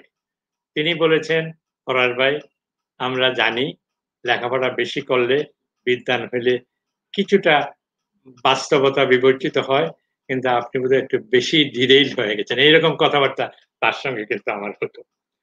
তারপরে যখন ওই আমি সোনালী ব্যাংকের চেয়ারম্যান তখন একদিন ইবরিয়া সাহেব, আমার বন্ধু রাজ্জাক আর তুফাইল আহমদ সাহেব, তারা প্রস্তাব নিয়ে মাননীয় প্রধানমন্ত্রীর কাছে গেল। তিনি বলেন না না, এগুলো বলে কোনো লাভ নাই। তিনি কোনো সরকারি কাজ করবে না। তার কাজই হলো আমার সঙ্গে ঝগড়া করা। তারা বললেন যে, আমরা দায়িত্ব নিলাম রাজি হবেন। তিনি দিলেন। সই করে আমি জয়েন করলাম বাংলাদেশ ব্যাংকে খুব খুব ডেফিনিট কতগুলো উদ্দেশ্য ছিল। যদি গভর্নর হই কোনোদিন, এক কথা রাজি হয়ে গেছিলাম। একটা উদ্দেশ্য ছিল এই যে খেলাপিড়ি যে জন্য আমি খুব বিতর্কিত এবং আমি আনফর্চুনেটলি অনেক দুষ্কন সৃষ্টি করে ফেলেছি। তাদের কাছে আমি সত্যি ক্ষমা প্রার্থী। কিন্তু আমার পথ থেকে আমি বিচ্যুত হই নাই। আবার যদি সেই কাজ করতে হয়, আবার তাই করব। তো এটা ছিল একটা। দ্বিতীয় ছিল borrowing from the own bank সেটা আমি একটা দুই হাজার তেরো সনের যে কোম্পানি আইনে ওইটা আমি বন্ধ করেছিলাম। পাটকাধীনেই ভালো মতো বুঝাই যায়, পরে আবার আসছে। আর আসটা ছিল যে কোনো রাজনৈতিক দলের অফিস বিয়ার কোনো ব্যাংকে বেতন বুক পরামর্শক হইতে পারবে না। মহাকাপ্পা ছিলেন লোকজন আমার উপরে এই জন্য। কিন্তু আমার কোনো খেদ নাই। আমি যেটা করেছি, মনে করি ভালোর জন্য করেছি। বাংলাদেশ ব্যাংকে জয়েন করার দ্বিতীয় দিনে জনাব মতিউল ইসলাম সাহেব আসলেন ওনার ওই যে আইআইডিএফসি বললেন যে, দেখেন, আমার এই জিনিসটা নব্বই দিন আপনার সহকর্মীরা আটকে রেখেছে। আমি নব্বই মিনিটে আপনাকে করতে বলব না। তবে নব্বই দিন নিতে পারবেন না। আপনি নব্বই ঘণ্টার মধ্যে এই কাজটা করে দিবেন এবং আপনাকে এবং আপনার দর্শক শ্রোতাদের জানাতে পারি যে, আমি সেটা করতে পেরেছিলাম। তিনি স্বীকার করেন বটে, কিন্তু অন্যভাবে স্বীকার করেন। বলেন যে, গভর্নর আমাকে পরামর্শ দিয়েছেন যে, আপনার এটার মধ্যে অনেক ব্যাংককে নিয়ে আসবেন। কিন্তু ওই যে কাজটা, ওইটা এমনি প্রাইভেটলি করেন, আমাকে অনেক ধন্যবাদ, অনেক স্নেহ করেন। এইভাবে কাজ করেছি। খেলাপিটার ব্যাপারে হয়তো একটু বেশি করে ফেলেছি, সেই জন্য আমরা একটা খেলাবিদের তালিকা, এটা সরকার সাহেব করে গেছিলেন, এটা মেনটেন করতাম। আমি দেখে আশ্চর্য হই, অবাক হই। তখন যারা পাঁচজন শীর্ষ খেলাপি ছিলেন, দুই হাজার আট সন পর্যন্ত তারা শীর্ষ খেলাপি ছিলেন। নয় সনে কি একটা জাদু হলো? বাংলাদেশ ব্যাংক আর অর্থ মন্ত্রণালয়ের কি যেন একটা হলো? যারা সবচেয়ে বড় খেলাপি, তারা কিন্তু সবচেয়ে সাদা ধপধপে হয়ে গেছে। আমি আর কি বলব। ঠিক আছে। স্যার ইতিমধ্যে আপনি আমার যে পরবর্তী প্রশ্ন ছিল, আপনার ইন্টারন্যাশনাল সিভিল সার্ভেন্ট ক্যারিয়ার সম্বন্ধে, সেটা আপনি আংশিক আপনি অলরেডি উত্তর দিয়ে দিয়েছেন। আমরা জানি যে প্রায় তেরো বছর আপনি ইউএনডিপিতে কাজ করেছেন এবং হয়তো প্রথম বাংলাদেশি যে রেসিডেন্ট রিপ্রেজেন্টেটিভ এই আমি শেয়ার করলাম সময়ের অভাবের জন্য। স্যার, আপনি মতিউল ইসলাম সাহেবের কথা বললেন। হ্যাঁ উনি আমাদের প্রথম গেস্ট ছিলেন আমাদের এই অনুষ্ঠানে এবং আমি তো আইআইডিএফ এর অনেকদিন ভাইস আমার সৌভাগ্য হয়েছিল ভাইস চেয়ারম্যান হতে। এখন আমি অবশ্য ওখান থেকে এগারো বছর পর ইস্তফা দিয়েছি। তো উনি এসেছিলেন। আর সাইদুজ্জামান সাহেব এই অনুষ্ঠানটা সম্ভবত দেখছেন, কারণ উনি আমাকে প্রায় ফোন করেন পরের দিন, অনুষ্ঠান দেখার পর। এবং উনি অঙ্গীকার করেছেন, উনি নভেম্বর মাসে আমাদের অনুষ্ঠানে আসবেন। আমরা অধীর আগ্রহে থাকলাম, তখন উনি আসবেন, তখন আপনাকেও স্যার আমি জানাব, যদি আপনার সময় থাকে, তখন দেখার এখানে মহিউদ্দিন মামুন বেশ প্রশ্ন করেন সুন্দর সুন্দর, আবার বলছেন, স্যার, আসসালামু আলাইকুম। আপনার কাছে বিনয়ের সাথে জানতে চাই, প্রথম কত টাকার নোটে স্যারের সাইন ছাপা হয়েছিল? মানে কত টাকা? পাঁচ টাকা না দশ টাকা না বিশ টাকা? এবার এক টাকা পাঁচ টাকা তো ফাইন্যান্স সেক্রেটারি সাইন করে আমরা যতটুকু জানি। বাকিগুলো গভর্নর সাহেব সাইন করেন। তো এটাই আর আপনার অনুভূতি কেমন ছিল? এই প্রশ্নটার উত্তর দেওয়া দরকার। প্রশ্ন না করলেও আমি করতাম। মিস্টার মামুন আপনাকে অসংখ্য ধন্যবাদ। পঁচাত্তরের পরে জাতির পিতার প্রতিকৃতিওয়ালা সমস্ত টাকা অচল করা হয় নাই কিন্তু আস্তে আস্তে সার্কুলেশন থেকে বের করে দেওয়া হলো। আমি যখন আটানব্বই সনে নভেম্বরে কাজে যোগ দিলাম, খুব ব্যথা এই বিষয়টা নিয়ে। প্রথম তো ওই যে খেলাপি ফাইটিং টাইটিং নিয়ে ওন ব্যাংক নিয়ে, বা একটা ব্যাংকের চেয়ারম্যান মহোদয়কে আপনার বের করে দিতে হলো। এগুলো নিয়ে ব্যস্ত থাকলাম। পরবর্তীতে যখন একটু ফুরসত পেলাম নিরানব্বই সনে, তখন একটা একটা কৃত সংকল্প হলাম যে বঙ্গবন্ধুর প্রতিকৃতিওয়ালা অত্যন্ত উন্নত মানের একটা নোট আমরা ছাপাবো আমাদের এই গাজীপুরের টাকসানে খুব এখানে কিন্তু খুব উন্নত মানের মেশিন রয়েছে। আমি একজন মহিলা, মাহমুদা খাতুন। সঞ্জিদা আপার ছোট বোন এবং আমার বন্ধু ফাহমিদা তার তার ছোট বোন। তো ওকে খোঁজ নিয়ে দেখলাম যে ও রিটায়ারমেন্টে চলে যায়। ওইখানকার এমডি কে বললাম যে, আজকেই প্রস্তাব পাঠান, তার দুই বছরের এক্সটেনশনের জন্য আমি দিয়ে দিলাম। পরের দিন ফাহমিদা ফোন করেছে যে, এরকম একটা তদবির ছিল। সঞ্জয় দেফা বলছে, তুমি দিতে পারবা কিনা দুই বছর? আমরা খোঁজ নিয়ে দেখো, সে এক্সটেনশন পেয়ে গেছে। যে মাহমুদা খুব চমৎকার করে ডিজাইন করল এবং একটা কমিটি ছিল। কমিটিতে মোস্তফা মনোয়ার এবং পটুয়া কামরুল হাসান। তারা মিলে এটা অনুমোদন করে দিলেন। আমার খুব পছন্দ হলো। আমি সিদ্ধান্ত নিলাম একশো টাকা, পাঁচশো টাকা, একশো টাকা, পঞ্চাশ টাকা, বিশ টাকা, দশ টাকা। সবগুলো নোটে বঙ্গবন্ধুর প্রতিকৃতি নিয়ে বের হবে। আমি গেলাম এই ডিজাইনের ফাইলটা নিয়ে শামস্কিপ্রিয়া আমার অত্যন্ত শ্রদ্ধাভাজন লোকজনদের মধ্যে তিনি অন্যতম। তিনি একটু ঘাবড়ালেন মনে হলো বলে অত বড় কামটা স্যার জাতির পিতার প্রতিকৃতি নিয়ে যদি নোট না ছাপি, উনি কোনো সমালোচনা করেন নাই। উনি বললেন যে, খুব সুন্দর হয়েছে। আপনি যান, আমার পূর্ণ সমর্থন আছে। তাহলে নেন, ফাইলটা নিয়ে মাননীয় প্রধানমন্ত্রীর কাছে যান। বলি, এটা কীরকম কথা হলো? কাজ আপনি করলেন, উদ্যোগ আপনি দিলেন আর কৃতিত্ব বুঝে আমি নেব। পৃথিবীতে খুব কম লোক কিন্তু এইরকম উদার হবে। নথি নিয়ে গেলাম, জনবন্ধু শেখ হাসিনার কাছে। অ্যাসেম্বলি ছিল, সংসদ ছিল। আমাকে একটু প্রায়োরিটি দিতেন। দেখে তিনি একেবারে অভিভূত হয়ে উনি বললেন, আমি আর কি দেখব ডিজাইন আপনি যা করছেন তাই সই নোট বাইর করেন। একেবারে একদম অভিভূত হয়ে গেছিলেন তো আমাকে কিবরিয়া সাহেব একটা প্রশ্ন জিজ্ঞেস করছিলেন যে, আপনার ইমোশন ছাড়া আর কোনো কারণ আছে কিনা? কারণ স্যার আছে। কারণ ফটো ছাড়া টাকার কোনো নিরাপত্তা থাকে না। সৌদি আরবে ফটোগ্রাফি নিষিদ্ধ আছে। কিন্তু সৌদি সব নোটে বাদশার ফটো থাকে। এই জন্য যে যারা নকল করে, তারা কিন্তু ফটোকপি করে। যদি ছবি থাকে, বড় ছবি থাকলে ফটোকপি করতে গেলে কোনো না কোনো একটা জায়গায় বেজ্যবেশকম হবে। তো এই হলো নোট ছাপানোর ইতিহাস এবং অত্যন্ত আবেগপ্রবণ ছিলাম। নোটগুলো খুব ভালোভাবে গিয়েছিল, কিন্তু দুঃখের বিষয়, তখন পলিমার কারেন্সি এর কিছুদিন পরেই করেছিলাম।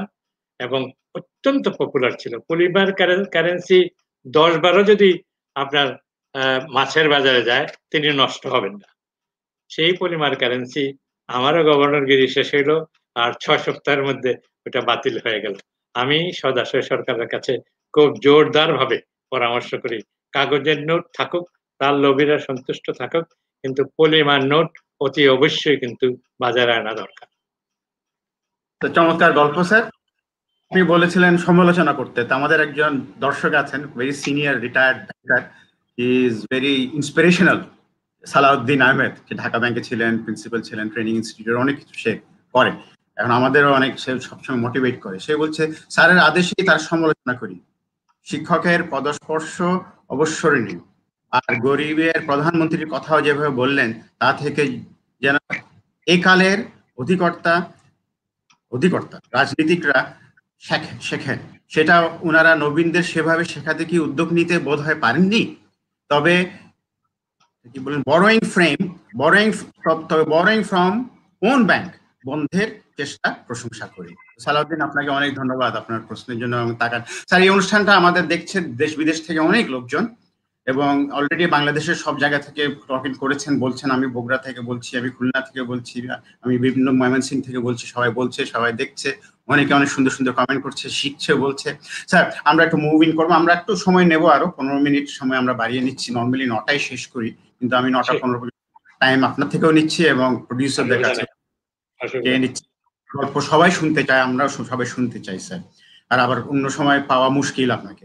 এরপরে স্যার, আপনি তো রিটায়ার করলেন রিটায়ার করার পরে দেশও ফিরলেন ইন্টারন্যাশনাল সিভিল সার্ভিসও শেষ হলো। আপনি অনেকগুলো কমিশনের চেয়ারম্যান হলেন পাবলিক সার্ভিস কমিশন এমনকি তিন চার বছরও একটা কমিশন আপনি ছিলেন যেখানে আমি আপনার সঙ্গে আপনার কাছে গিয়েছিলাম। তো আপনি অনেক সুনামের সঙ্গে কাজ করেন বলে, সুদক্ষভাবে কাজ করেন বলে ফেয়ার ভাবে কাজ করেন বলে, এবং টাইম মতো কমিশনের রিপোর্টগুলো দেন বলে আপনাকে সবাই সবসময় ডাকে। আমরা সবসময় জানি যে খুব নাম হয় পেপারে উঠে একটা গোলমাল হয়ে যায় কমিশন হয় তিন দিন, চার দিন পরে এক্সটেনশন করে টাইম তারপরে আর কোনো খবর নেই। আপনারগুলো সবগুলো আমার মনে হয় কোনো ব্যতিক্রম নেই যে আপনি টাইম মতো সাবমিট করেনি বা করলে যদি কোনো টাইম লেগেছে বেশি for some very valid reasons তার এই কমিশনগুলোর কাজে বিভিন্ন জায়গায় যে আপনার অন্যান্য সংশ্লিষ্টটা আছে, অনেক কিছুর আপনি চেয়ারম্যান প্রফেসর রিডার অনেক কিছু বলে শেষ করা যাবে না দর্শক ভাই, বোনেরা। আমি অভিভূত স্যারের ক্যারিয়ার দেখে। এই এখনও সুন্দরভাবে উনি বিভিন্ন ভাবে সংস্পর্শ ওনার পদচারণা। তো স্যার আপনার কাছে কমিশন বা এগুলো সম্বন্ধে যদি একটা দুটা শর্টে শুনতে পাই। না প্রশ্নটা হলো এগুলাতে কাজ করে কীরকম মনে হয়েছে সেটা প্রশ্ন নাকি? আপনি কাজ করলেন এগুলো তো স্যার আপনার জন্য এক্সট্রা কাজ। আপনি রিটায়ার্ড বাট আপনাকে অনেক বড় দায়িত্ব দেওয়া হয়। সঙ্গে কমিশন অনেক ধরনের কারণে কমিশন হয়। পাবলিক সার্ভিস কমিশনে তো আপনি প্রধান ছিলেন। তাই না স্যার?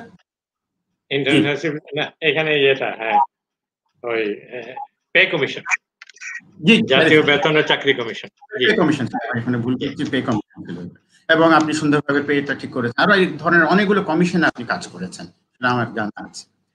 তো আপনার অনেক কন্ট্রিবিউশন এখানে সেটাই বলতে আমি আমি একটা কথা বলা উচিত এখানে। বিদেশ থেকে আসার পরে ইচ্ছা ছিল রতনপুর গ্রামে মায়ের নামে একটা গার্লস স্কুল করব। ওই মায়ের নামে যিনি আমাকে মানুষ করেছেন বলে মনে করি। কিন্তু বন্ধু বান্ধবরা দিলেন না, তারা বাধ্য করলেন ঢাকায় ইস্ট ওয়েস্ট ইউনিভার্সিটি করতে। আপনার এবং আপনার এখানে যারা দর্শক শ্রোতা, আমার শ্রদ্ধাভাজন, তাদের দয়ায় তাদের দোয়ায় আল্লাহর মেহেরে ইউনিভার্সিটিটা খুব ভালোভাবে আসছে। আমরা আজকে এই কোভিডের সময় সমস্ত ছাত্রছাত্রীকে শতকরা বিশ ভাগ বেতন কমিয়ে দিতে পেরেছি। সমস্ত ছাত্রছাত্রীর জন্য অ্যাক্টিভিটি ফিটা কমিয়ে দিতে পারছি এবং যারা একেবারেই হতদরিদ্র, তা যাদের ল্যাপটপ নাই বলে ক্লাস করতে পারেন না সেই রকম কয়েকশো ছাত্রছাত্রীকে আমরা ইউনিভার্সিটি থেকে ল্যাপটপ দিয়েছি। আমাদের ছাত্রছাত্রীর কোনো কমতি নেই। দোয়া করবেন যাতে ইউনিভার্সিটিটা যেভাবে আমরা করতে চেয়েছি, যে মানে সেইভাবে যেন আমরা চালিয়ে যেতে পারি। কমিশন, সরকার করে একটা বিশেষ উদ্দেশ্য নিয়ে এবং সেই আমার কাজের কথা। আমি মনে করি যখনই কাজ করি, যখন আইবিএতে একটা ক্লাস নেই, সে পাবলিক ফাইন্যান্সেরই হোক অথবা মনিটারি পলিসি হোক, যখন ছাত্র ছাত্রীরা প্রশ্ন মানে জর্জরিত করে, খুব ভালো লাগে। যেখানেই পড়ায়। প্রশ্ন পেলে খুব ভালো লাগে, কারণ এটা আমাকে চিন্তা করতে বাধ্য করে এবং আমি অনেক কিছু শিখতে পারি।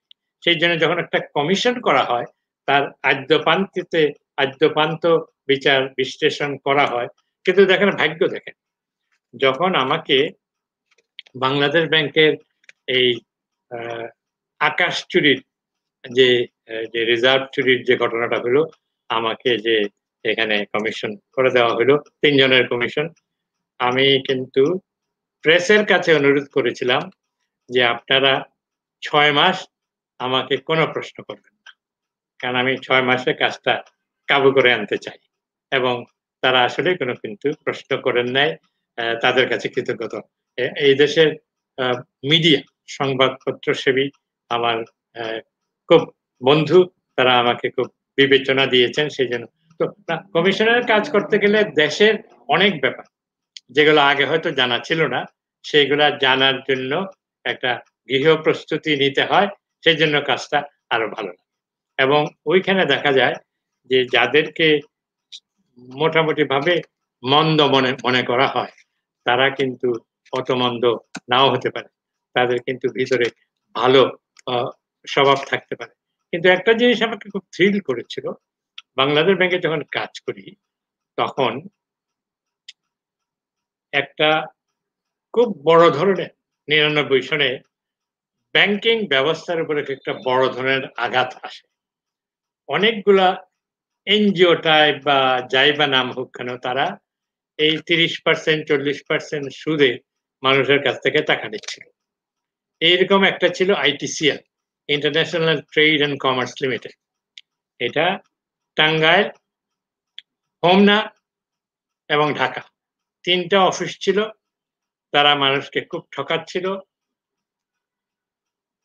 নামে বলি মরহুম এম কে আনোয়ার। তিনি সাবেক মন্ত্রী, সাবেক আমলা তখন তিনি আমাকে বললেন, গভর্নর গভর্নরগিরি তো করছেন বটে, খবর রাখেন। তিনি খবরটা দিলেন, ভালো করে খবর টবর নিয়ে দেখলাম যে সত্যই একেবারে তিনোটা জায়গায়, একদিনে আপনার তল্লাশি করে বন্ধ করে দিলাম। প্রায় দুইশো ট্রাকে, বাসে, এটা ফেমাস ঘটনা। আপনার মিছিল করে পল্টনে এসে তারা মিটিং করলেন, বললেন, এই অর্ডারটা চব্বিশ ঘণ্টার মধ্যে প্রত্যাহার করতে হবে, না হলে কীভাবে প্রত্যাহার করাতে হয় আমরা জানি। এবং সঙ্গে সঙ্গে তাদের দুই মুরব্বী, একজন যেহেতু মারা গেছেন সেই জন্য তাদের নাম দিতে পারছি না, নাম নিতে পারছি না। তারা ওই আইটিসিএল এর শীতাতপ নিয়ন্ত্রিত অফিস থেকে আমাকে ফোন করা শুরু করেছেন যে তাদেরকে আপনি ছেড়ে দেন। একজনকে বললাম যে দেখো, নেত্রীকে বলব, সরকারি যে, বলে দাদা মাফ করে দেন। আরেকজনকে বললাম, আপনি ব্যারিস্টারি করছেন নাকি দালালি করছেন? তিনি বললেন, সরি, আমাকে ক্ষমা করবেন। এইভাবে কাজ করেছি। মোটামুটি যেহেতু নিয়ত ভালো ছিল আমার এজেন্ডা শুধুই দেশের এজেন্ডা সে যেন কোনোদিন আটকা পড়েনি আপনি মনে হয় স্যার, আপনার গুণের মধ্যে একটা রয়েছে মাইন্ড রিড আপনি আমার মাইন্ড রিড করতে পারেন। কারণ এর মধ্যে আপনি বেশ কয়েকটা প্রশ্নের উত্তর, অন্য প্রশ্নের উত্তরের সাথে মিলিয়ে বলে দিচ্ছেন। আমার সময়, আমাদের সময় যাচ্ছে এই সুবাদে। আমার খুব ভালো লাগছে। আপনাকে প্রশ্ন ছিল ইস্ট ইউনিভার্সিটি, আপনি এটা চেয়ারপারসন দর্শকরা জানেন। এটা উনি ওখানে প্রফেসর উনি পড়ান। এবং এখানে উনি ওনার সঙ্গে আছেন সৈয়দ মঞ্জুরুল্লাহ সাহেব উনি আমার খুব প্রিয় একজন ব্যক্তিত্ব আমার জন্য। ওনার পত্নীকে উনি হারিয়েছেন ওনার মাত্রাত কামনা করি। নীলুফার মঞ্জুর এবং স্যারের সঙ্গে কাজ করেন এবং স্যারের অনেক গল্প স্যার আমি অনেক শুনেছি সবসময় মঞ্জুরুল্লাহ সাহেবের কাছে। উনি তো এখন আপনাদের প্রেসিডেন্ট উনি চেয়ারম্যান জি ওনাকে আমরা রাজি করাইতে পেরেছি। জি ওনার জন্য ভালো হলো। আরেকটা খবর হলো স্যার আমিও এখন ইন্ডিপেন্ডেন্ট ইউনিভার্সিটিতে পার্ট টাইম স্কুল অফ বিজনেসে ক্লাস নিই। ভেরি গুড এক্সেলেন্ট স্যার এখন বাবলা চৌধুরী আমি নিউ ইয়র্ক থেকে বলছি। খুব ভালো লাগল ওনার ইয়েটা। ধন্যবাদ। বাবলা চৌধুরী আপনি আমাদের কাছে কষ্ট করে লিখেছেন। এটা আপনার জন্য তো এখন প্রায় সকাল এখানে। খুবই সুন্দর সুন্দর অনুষ্ঠান এবং ভালো লাগছে। সবাইকে সালাম। এরকম অনুষ্ঠান করা দরকার দেশের মঙ্গলের জন্য। Shamsul Islam sir we are very inspired listening from your experience Can you please give some advice for the new generation আমার সবসময় স্যার লাস্ট প্রশ্ন থাকে নতুন প্রজন্মের জন্য আপনার থেকে কোনো উপদেশ আমি একটু পরে যাব লাস্টেই যাব আর দু একটা প্রশ্ন করে নিয়ে Sakib Noor, my friends from the evening batch of IBA MBA were lucky to take your economics course. Didn't have this opportunity as I was a morning regular batch student. Will always regret this. Jahanara Mustafa Helen, there is no good college in Ratanpur or near around that area. I humbly request you think about it and take effective steps. Thank you, sir. Sir এটার সম্বন্ধে আপনি comment করতে চান পারেন করতে পারেন না হলে আমি আমার নেক্সট স্টেজে চলে যেতে চাইছি আপনি তো স্যার বইও লিখেছেন এবং বইয়ের মধ্যে আছে আমি লিখে নিয়ে আসছি যেন ভুল না হয় আমার গণতন্ত্রের পথে অর্থনৈতিক অগ্রযাত্রা মহলা ব্রাদার্স পাবলিশ করেছে প্রথম দর্শনে বঙ্গবন্ধু আগামী প্রকাশনী দুই হাজার এগারো সাল and retention and success in higher higher education the East West University experience আর কি কোনো বই লিখছেন, স্যার?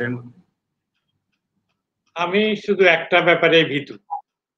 আমি যে বইটার উপরে কাজ করছি, এইটা যখন বের হবে, তখন অনেক লোক আমার উপরে এত রুষ্ট হবেন যে হয়তো প্রাণ নাশ হতে পারে।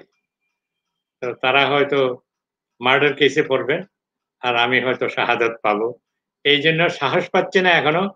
এটা আর মাস দুয়েকের কাজ বাকি আছে। ফ্রম গঙ্গা রেডি টু সোনার বাংলা এই একটা শিরোনামেই বলে দিচ্ছে কি লিখতে চাচ্ছি। তো দেখি, দোয়া করবেন যাতে এটা বের করতে পারেন মাশাআল্লাহ আপনার কিছু হবে না, আপনি সৎ পথে আছেন, সৎ কথা বলেন। আল্লাহ আপনাকে দেখবে, স্যার। কেউ আপনার হার্ম করতে পারবে না, দোয়া করি। স্যার আপনি অ্যাওয়ার্ড পেয়েছেন বাংলা একাডেমি অ্যাওয়ার্ড পেয়েছেন অনেক কিছু পেয়েছেন আমরা চাই যে আপনি আরও অ্যাওয়ার্ড পান। আমি জানি আর কয়েকটা অ্যাওয়ার্ড এখন আপনি পাননি। আমি দেখলাম লিস্টের মধ্যে।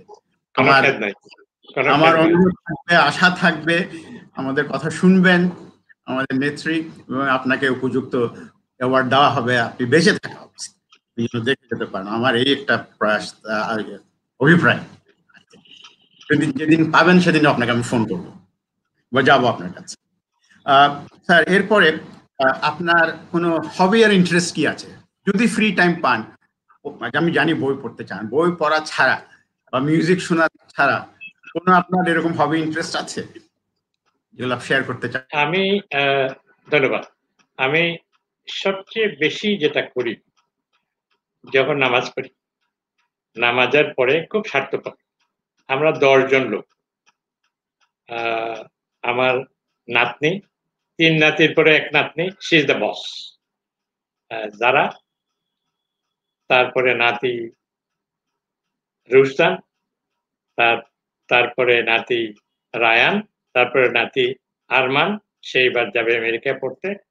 তারপরে পুত্রবধূ আমি মামনি বলি, তারপরে বাবা বলি, আসফ, তারপরে কন্যা, ফেহমিন সোমা এবং তার আমাদের জামাইকে আমি বাবা বলি। এই আটজন এবং আসমা এবং আমি। এই দশজনের জন্য প্রাণ ভরে আল্লাহর কাছে ডুকরে কাঁদি। আমাদের গুণামাপের জন্য, আমাদের মঙ্গলের জন্য এটা সবসময় করি। এটা বলতে পারেন সবচেয়ে বড় কাজ।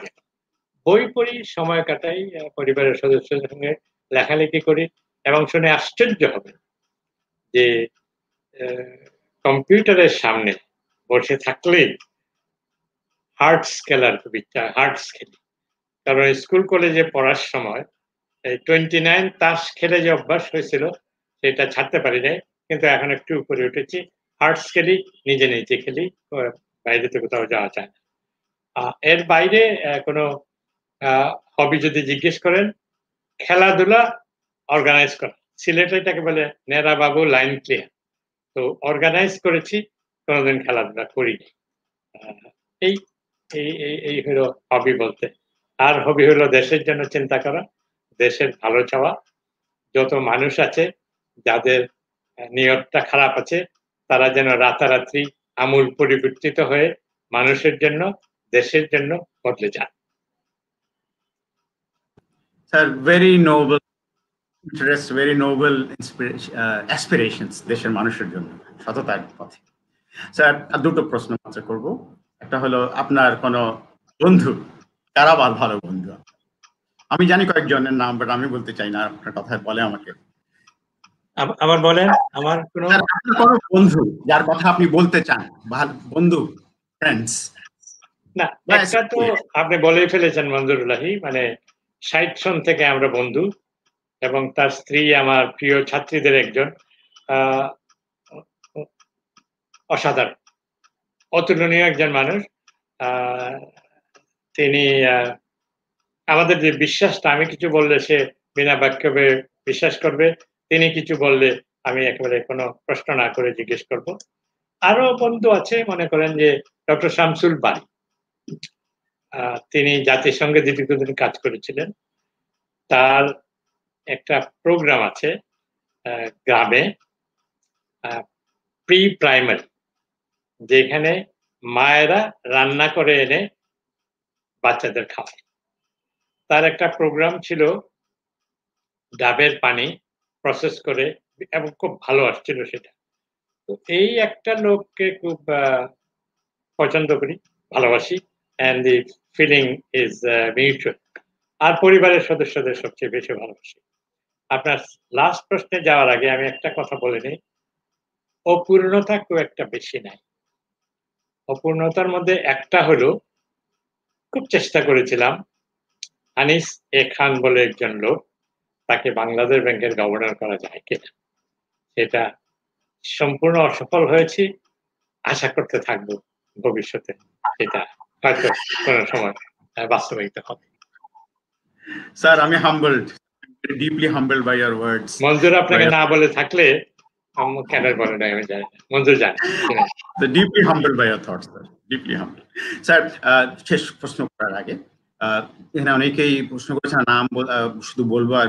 না। মোহাম্মদ ইসাক হক, আপনার কথা শুনে খুব মুগ্ধ সে। মকতুবুর রহমান পরাগ তারপরে পারভিন মাহমুদ আবার আপনাকে wishing you good health and long life Salauddin আবার প্রশ্ন করেছেন বাট এখন তার উত্তর দেওয়ার সময় হবে না, সালাউদ্দিন। কাজী আরিফুর রহমান, আশরাফুল কবির, শামসুল আলম, আপনারা অনেক প্রশ্ন করেছেন। আপনাদেরকে অনেক অনেক ধন্যবাদ। যাদের নাম বলতে পারেননি ক্ষমা করে দেবেন। সব নাম তো বলা সম্ভব না, এখানে তো প্রায় দেড়শো, দুইশো প্রশ্ন বা কমেন্টস আছে। স্যার, সবসময় আমরা লাস্টে শেষের দিকে একটা কথা বলি। সেটা হলো যে, এই অনুষ্ঠানটা অগ্রজনা। তো যারা ইয়াঙ্গার জেনারেশন রয়েছে মিলেনিয়ালস রয়েছে, যারা আসছে তাদের প্রতি আপনার উপদেশ, তারা কি করবে? আরও আপনার মতো হওয়ার জন্য, আপনার মতো যারা বাংলাদেশ গড়েছে তারা তাদের হাতে আমরা বাংলাদেশ সঁপে দেব। তাদের কি করা উচিত বাংলাদেশকে আরও সুন্দর জায়গায় নিয়ে যাওয়া? এই উপদেশটা স্যার আপনার কাছ থেকে নিতে চাই। আপনাকে অনেক ধন্যবাদ। তো আমার বয়স এখন আশি বছর, কিন্তু বাবা মরহুদ মাহতাবুদ্দিন এবং হেডমাস্টার শ্রী মধুসূদন কর্মকার তাদের কল্যাণে পনে দুই বছর তারা কেটে দিয়েছেন, কমিয়ে দিয়েছেন। তো আশি বছর বয়সেও বেশ ফিট মনে করি নিজেকে, অনুপ্রাণিত মনে করি। পরবর্তী যে যে বর্তমান প্রজন্ম বা তার পরের প্রজন্ম, তাদের জন্য আমার বলা এটা এটা একটা বলা যে যদি সৎ চিন্তা থাকে, সজ্জন হতে পারো, দেশের চিন্তা করো, মা বাবার সেবা করো, যে যে ধর্মের হও, সেই ধর্ম প্রতিপালন করো, তাহলে কিন্তু এরকম সুস্বাস্থ্যের অধিকারী হতে পারবে। কাজ কি করবে? কাজের কথা বলতে গেলে আমি সবসময় জাতির পিতার কথা মনে করি।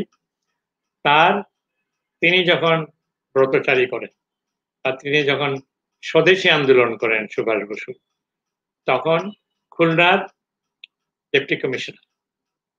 শেখ মুজিবুর রহমানের চাচাতো দাদা খান সাহেব আব্দুর রশিদের কাছে নালিশ করে। আর এলাকার কিছু মুরব্বী, শেখ লুৎফুর রহমান, যিনি শেখ মুজিবুর রহমানের অন্যতম প্রধান রোল মডেল পিতা, তাকে বলে যে ছেলে সামলা ও তো গোল্লায় যাচ্ছে। তিনি উভয় নালিশের জবাব দিয়েছেন।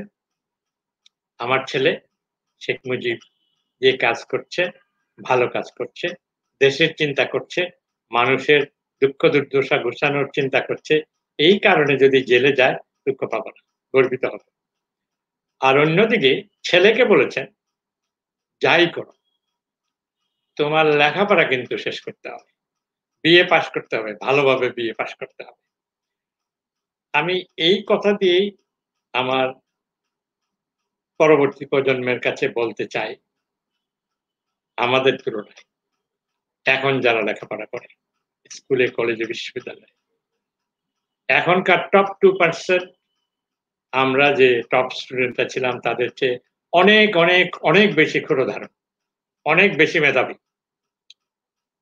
তারপরে ডিগ্রিটা যারা খুব ভালো, কিন্তু অতিশয় ভালো নয়, তাদের কিন্তু মেধা আছে। তাদেরকে বলি, দেশে এখন যে সুযোগ সুবিধা, সেটা তো আমাদের সময় ছিল না। এই সুযোগ সুবিধাকে কাজে লাগাতে হবে। এবং সদাশয় সরকারকে বলি, সবাইকে বিএমএ পাশ করতে হবে। দর্শনে বা পালিতে বা ইসলামিক হিস্ট্রিতে প্রয়োজন কিন্তু নাই। অষ্টম শ্রেণি পর্যন্ত পড়িয়ে বৃত্তিমূলক শিক্ষার দিকে যেতে হবে। যার যেদিকে আগ্রহ আছে তিনি বৃত্তিমূলক শিক্ষা নেবেন। হোক সে nurses aide, teachers aide agriculture implementist বা পপুলেশন কর্মী বা পর্যটনের ফ্রন্টম্যান বা ড্রাইভার বা যাই হোক যা দর্জি এই জিনিসটা কিন্তু বেশিরভাগ ছেলে মেয়েকে এই দিকে নিয়ে যেতে হবে। তাহলে উচ্চশিক্ষার যে সিটের যে চাপটা, এটা কমবে। এরা কিন্তু অতি অল্প সময়ে এমন স্কিল অর্জন করবেন যে তাদের পেছনে চাকরি দৌড়াবে। আর তারপরে টার্সিয়ারি এডুকেশনটা অবশ্যই প্রযুক্তি ভিত্তিক হবে, কিন্তু যারা কলেজে এবং বিশ্ববিদ্যালয়ে পড়বে, এটা আমি অনেকবার বলেছি, অনেক হয়তো শুনে থাকতে পারেন, তাদেরকে শীতকালের একটা সেমিস্টার বঙ্গবন্ধুর ভাষায় কিষান কিষানের কাছে নিয়ে যেতে হবে। তারা গ্রামে থাকবেন, নয় ক্রেডিটের জন্য, সাড়ে তিন মাস থাকবেন যে কিষানের বাড়িতে থাকবেন, তিনি সুপারভাইজ করবেন, শিক্ষকও থাকবেন সঙ্গে। তারা দেখবে আমার গায়ের মানুষরা কীভাবে সংগ্রাম করে, কীভাবে ফসল ফলায়। তাদেরকে পপুলেশনের ব্যাপারে পরিবেশের ব্যাপারে জন্ম নিয়ন্ত্রণের নিবন্ধনের ব্যাপারে পরামর্শ দেবে। তখনই কিন্তু তারা সত্যিকার ভাবে এদেশের মানুষের নেতা হবে। কারণ এই এই যে স্বাধীন দেশ, এই দেশে গত কয়েক বছরে আমি পঞ্চাশ বছরের কথাই বলব। পঞ্চাশ বছরে আশি ডলারের পার ক্যাপিটা ইনকাম এখন দুই হাজার ডলার হয়েছে। তিন দশমিক তিন ছিল জনসংখ্যা প্রবৃদ্ধি, এখন এক দশমিক দুই হয়েছে। দুইশো জনের বেশি মৃত্যু হতো, এখন আঠাইশ জন মানুষের জন্ম জন্মের সময় আয়ুষ্কাল ছিল তেতাল্লিশ বছর, এখন হয়েছে তিয়াত্তর বছর। এগুলো কিন্তু খুব এমনিতে হয়ে যায় নাই। আমাদের নেতৃত্ব দিয়েছেন, কিন্তু আমাদের লোকজন খুব বেশি বেশি করে কাজ করেছেন, আন্তরিকতার সঙ্গে কাজ করেছেন। আমরা চাই আমাদের ছেলে মেয়েরা সেইভাবে কাজ করবেন এবং দেশটাকে যে প্রবৃদ্ধি হওয়ার কথা ছিল, তার চেয়ে আরও বেশি বেশি প্রবৃদ্ধিকে নিয়ে গিয়ে অতি অবশ্যই যেন একটি গণতান্ত্রিক, অসাম্প্রদায়িক এবং কল্যাণ রাষ্ট্র সোনার বাংলা গড়ে উঠে সেই দিকে তারা কাজ করবে। সেই প্রার্থনা করে সেই দোয়া তাদেরকে দিচ্ছি। আপনাকে অশেষ ধন্যবাদ অনুপ্রাণিত বোধ করছি এবং আমরা আমাদের যে আমাদের এখানে যে অতিথিরা আসেন তাদেরকে এটাই শেষ প্রশ্ন করি এবং আমরা এই প্রশ্নগুলোর উত্তর আপনারা যে অনুপ্রাণিত করছেন, উপদেশ দিচ্ছেন, এগুলো সব আমরা লিপিবদ্ধ করছি এবং আমাদের প্রয়াস থাকবে এটা পরে আপনার পাবলিশ করে আমাদের প্রজন্মের কাছে পৌঁছিয়ে দেওয়ার জন্য। স্যার, আপনি এই অনুষ্ঠানে এসছেন। আপনাকে অনেক অনেক ধন্যবাদ। তা আপনাকে ধন্যবাদ। একটু পরে দিয়ে আগে বলব যে যারা দর্শক, সেই নিউ ইয়র্ক থেকে, সেই বরিশাল থেকে, বগুড়া থেকে ময়মনসিং থেকে, ঢাকা থেকে, অন্য যে কোনো দেশ থেকে, যেখান থেকে হোক না কেন, ওনারা যে রেগুলার আমাদের এই অনুষ্ঠানে টিউনিং করেন আগ্রহের সঙ্গে শুনেন। আজকে যে ওনারা বিশ পঁচিশ মিনিট স্যার আপনার অপেক্ষায় ছিলেন, খুব পেশেন্টলি আমি বলব, ধৈর্য সহকারে ওনারা অপেক্ষা করেছেন। আমি ওনাদের সঙ্গে আপনার জীবন সম্বন্ধে অনেক গল্প করেছি। আপনার বায়োগ্রাফি থেকে যেটা আমার কাছে লেখা ছিল সামনে যেগুলো আমি রিসার্চ করে বের করেছি অনেকগুলো শেয়ার করে ফেলেছি। তাদেরকে অনেক ধন্যবাদ। আপনারা আসতে থাকবেন, আপনারা কমেন্ট করতে থাকবেন, আবার আমাদের উপদেশ দেবেন আমরা আরও কিছু কীভাবে অনুষ্ঠানকে সুন্দর করতে পারি। এবং আমাদের দেশে কোভিড নাইন্টিন এর প্রকোপ চলছে। আমরা আশা করব যে আমাদের আরও কম সংখ্যক লোক মারা যাবে। আমরা আস্তে আস্তে ফুল নর্মালসির দিকে যেতে পারব। এবং ভালো থাকবেন যারা পরিবার বর্গকে হারিয়েছেন, আমিও হারিয়েছি আমার ছোট ভাইকে। তারপরে অন্যান্য বন্ধু বান্ধব হারিয়েছেন, তাদের আগুয়ের মাকফরাত কামনা করি সবসময় এবং বাকি যারা অসুস্থ আছে তারা ভালো হবেন সেটা আশা করি। স্যার, অনেক ধন্যবাদ। আপনি ডাবল অনুষ্ঠান থাকা সত্ত্বেও আপনি এসছেন, ওটা ছেড়ে আমাদের অনুষ্ঠানে জয়েন করেছেন আর এত সুন্দরভাবে আবলীল ভাবে এবং ফ্র্যাঙ্কলি ক্যান্ডিডলি আপনি আপনি কথা বলেছেন শেয়ার করেছেন। আপনাকে অনেক ধন্যবাদ। আপনাকে, আপনার পরিবারকে আপনি যে ডিসক্রাইব করলেন এত সুন্দর করে আপনার নাতনি নাতনির কথা, সবাই সুস্বাস্থ্য কামনা করি। আপনারা সুন্দর থাকেন, ভালো থাকেন তো এই, তারপরে এই অনুষ্ঠান যারা প্রোডাকশন করেন করেন লেড বাই তানভীর, চমৎকার টেকনিক্যাল কাজ তার টিম তারপরে creative production by Khan and steam and above all এখানে আইপিডিসির সিইও যে also Bangladesh lease finance company অ্যাসোসিয়েশনের চেয়ারম্যান এক সময় স্যার আমিও ছিলাম এটা চেয়ারম্যানের কথা আমি বারবার বলি। তো ওর এই অনুপ্রেরণা আমরা ও স্পন্সর করছে আইপিডিসির পক্ষ থেকে এবং ওর টিমকে আমি ধন্যবাদ জানাই সবাইকে ধন্যবাদ জানাই। এবং এই সবাইকে অনেক অনেক ধন্যবাদ। এই কথা বলে স্যার আপনাকে সবাইকে শুভরাত্রি। একটা সেকেন্ড আনন্দ ঘন আমার ক্ষমা তো আগেই চেয়েছি আনিস আরও বড় হোক প্রার্থনা থাকল। ধন্যবাদ, স্যার। সবসময় অনুপ্রাণিত। আপনি সবসময় আমাকে অনুপ্রেরণা দিয়ে এসছেন। অনেক ধন্যবাদ সবাই আবার ধন্যবাদ, স্যারকে ধন্যবাদ। শুভরাত্রি।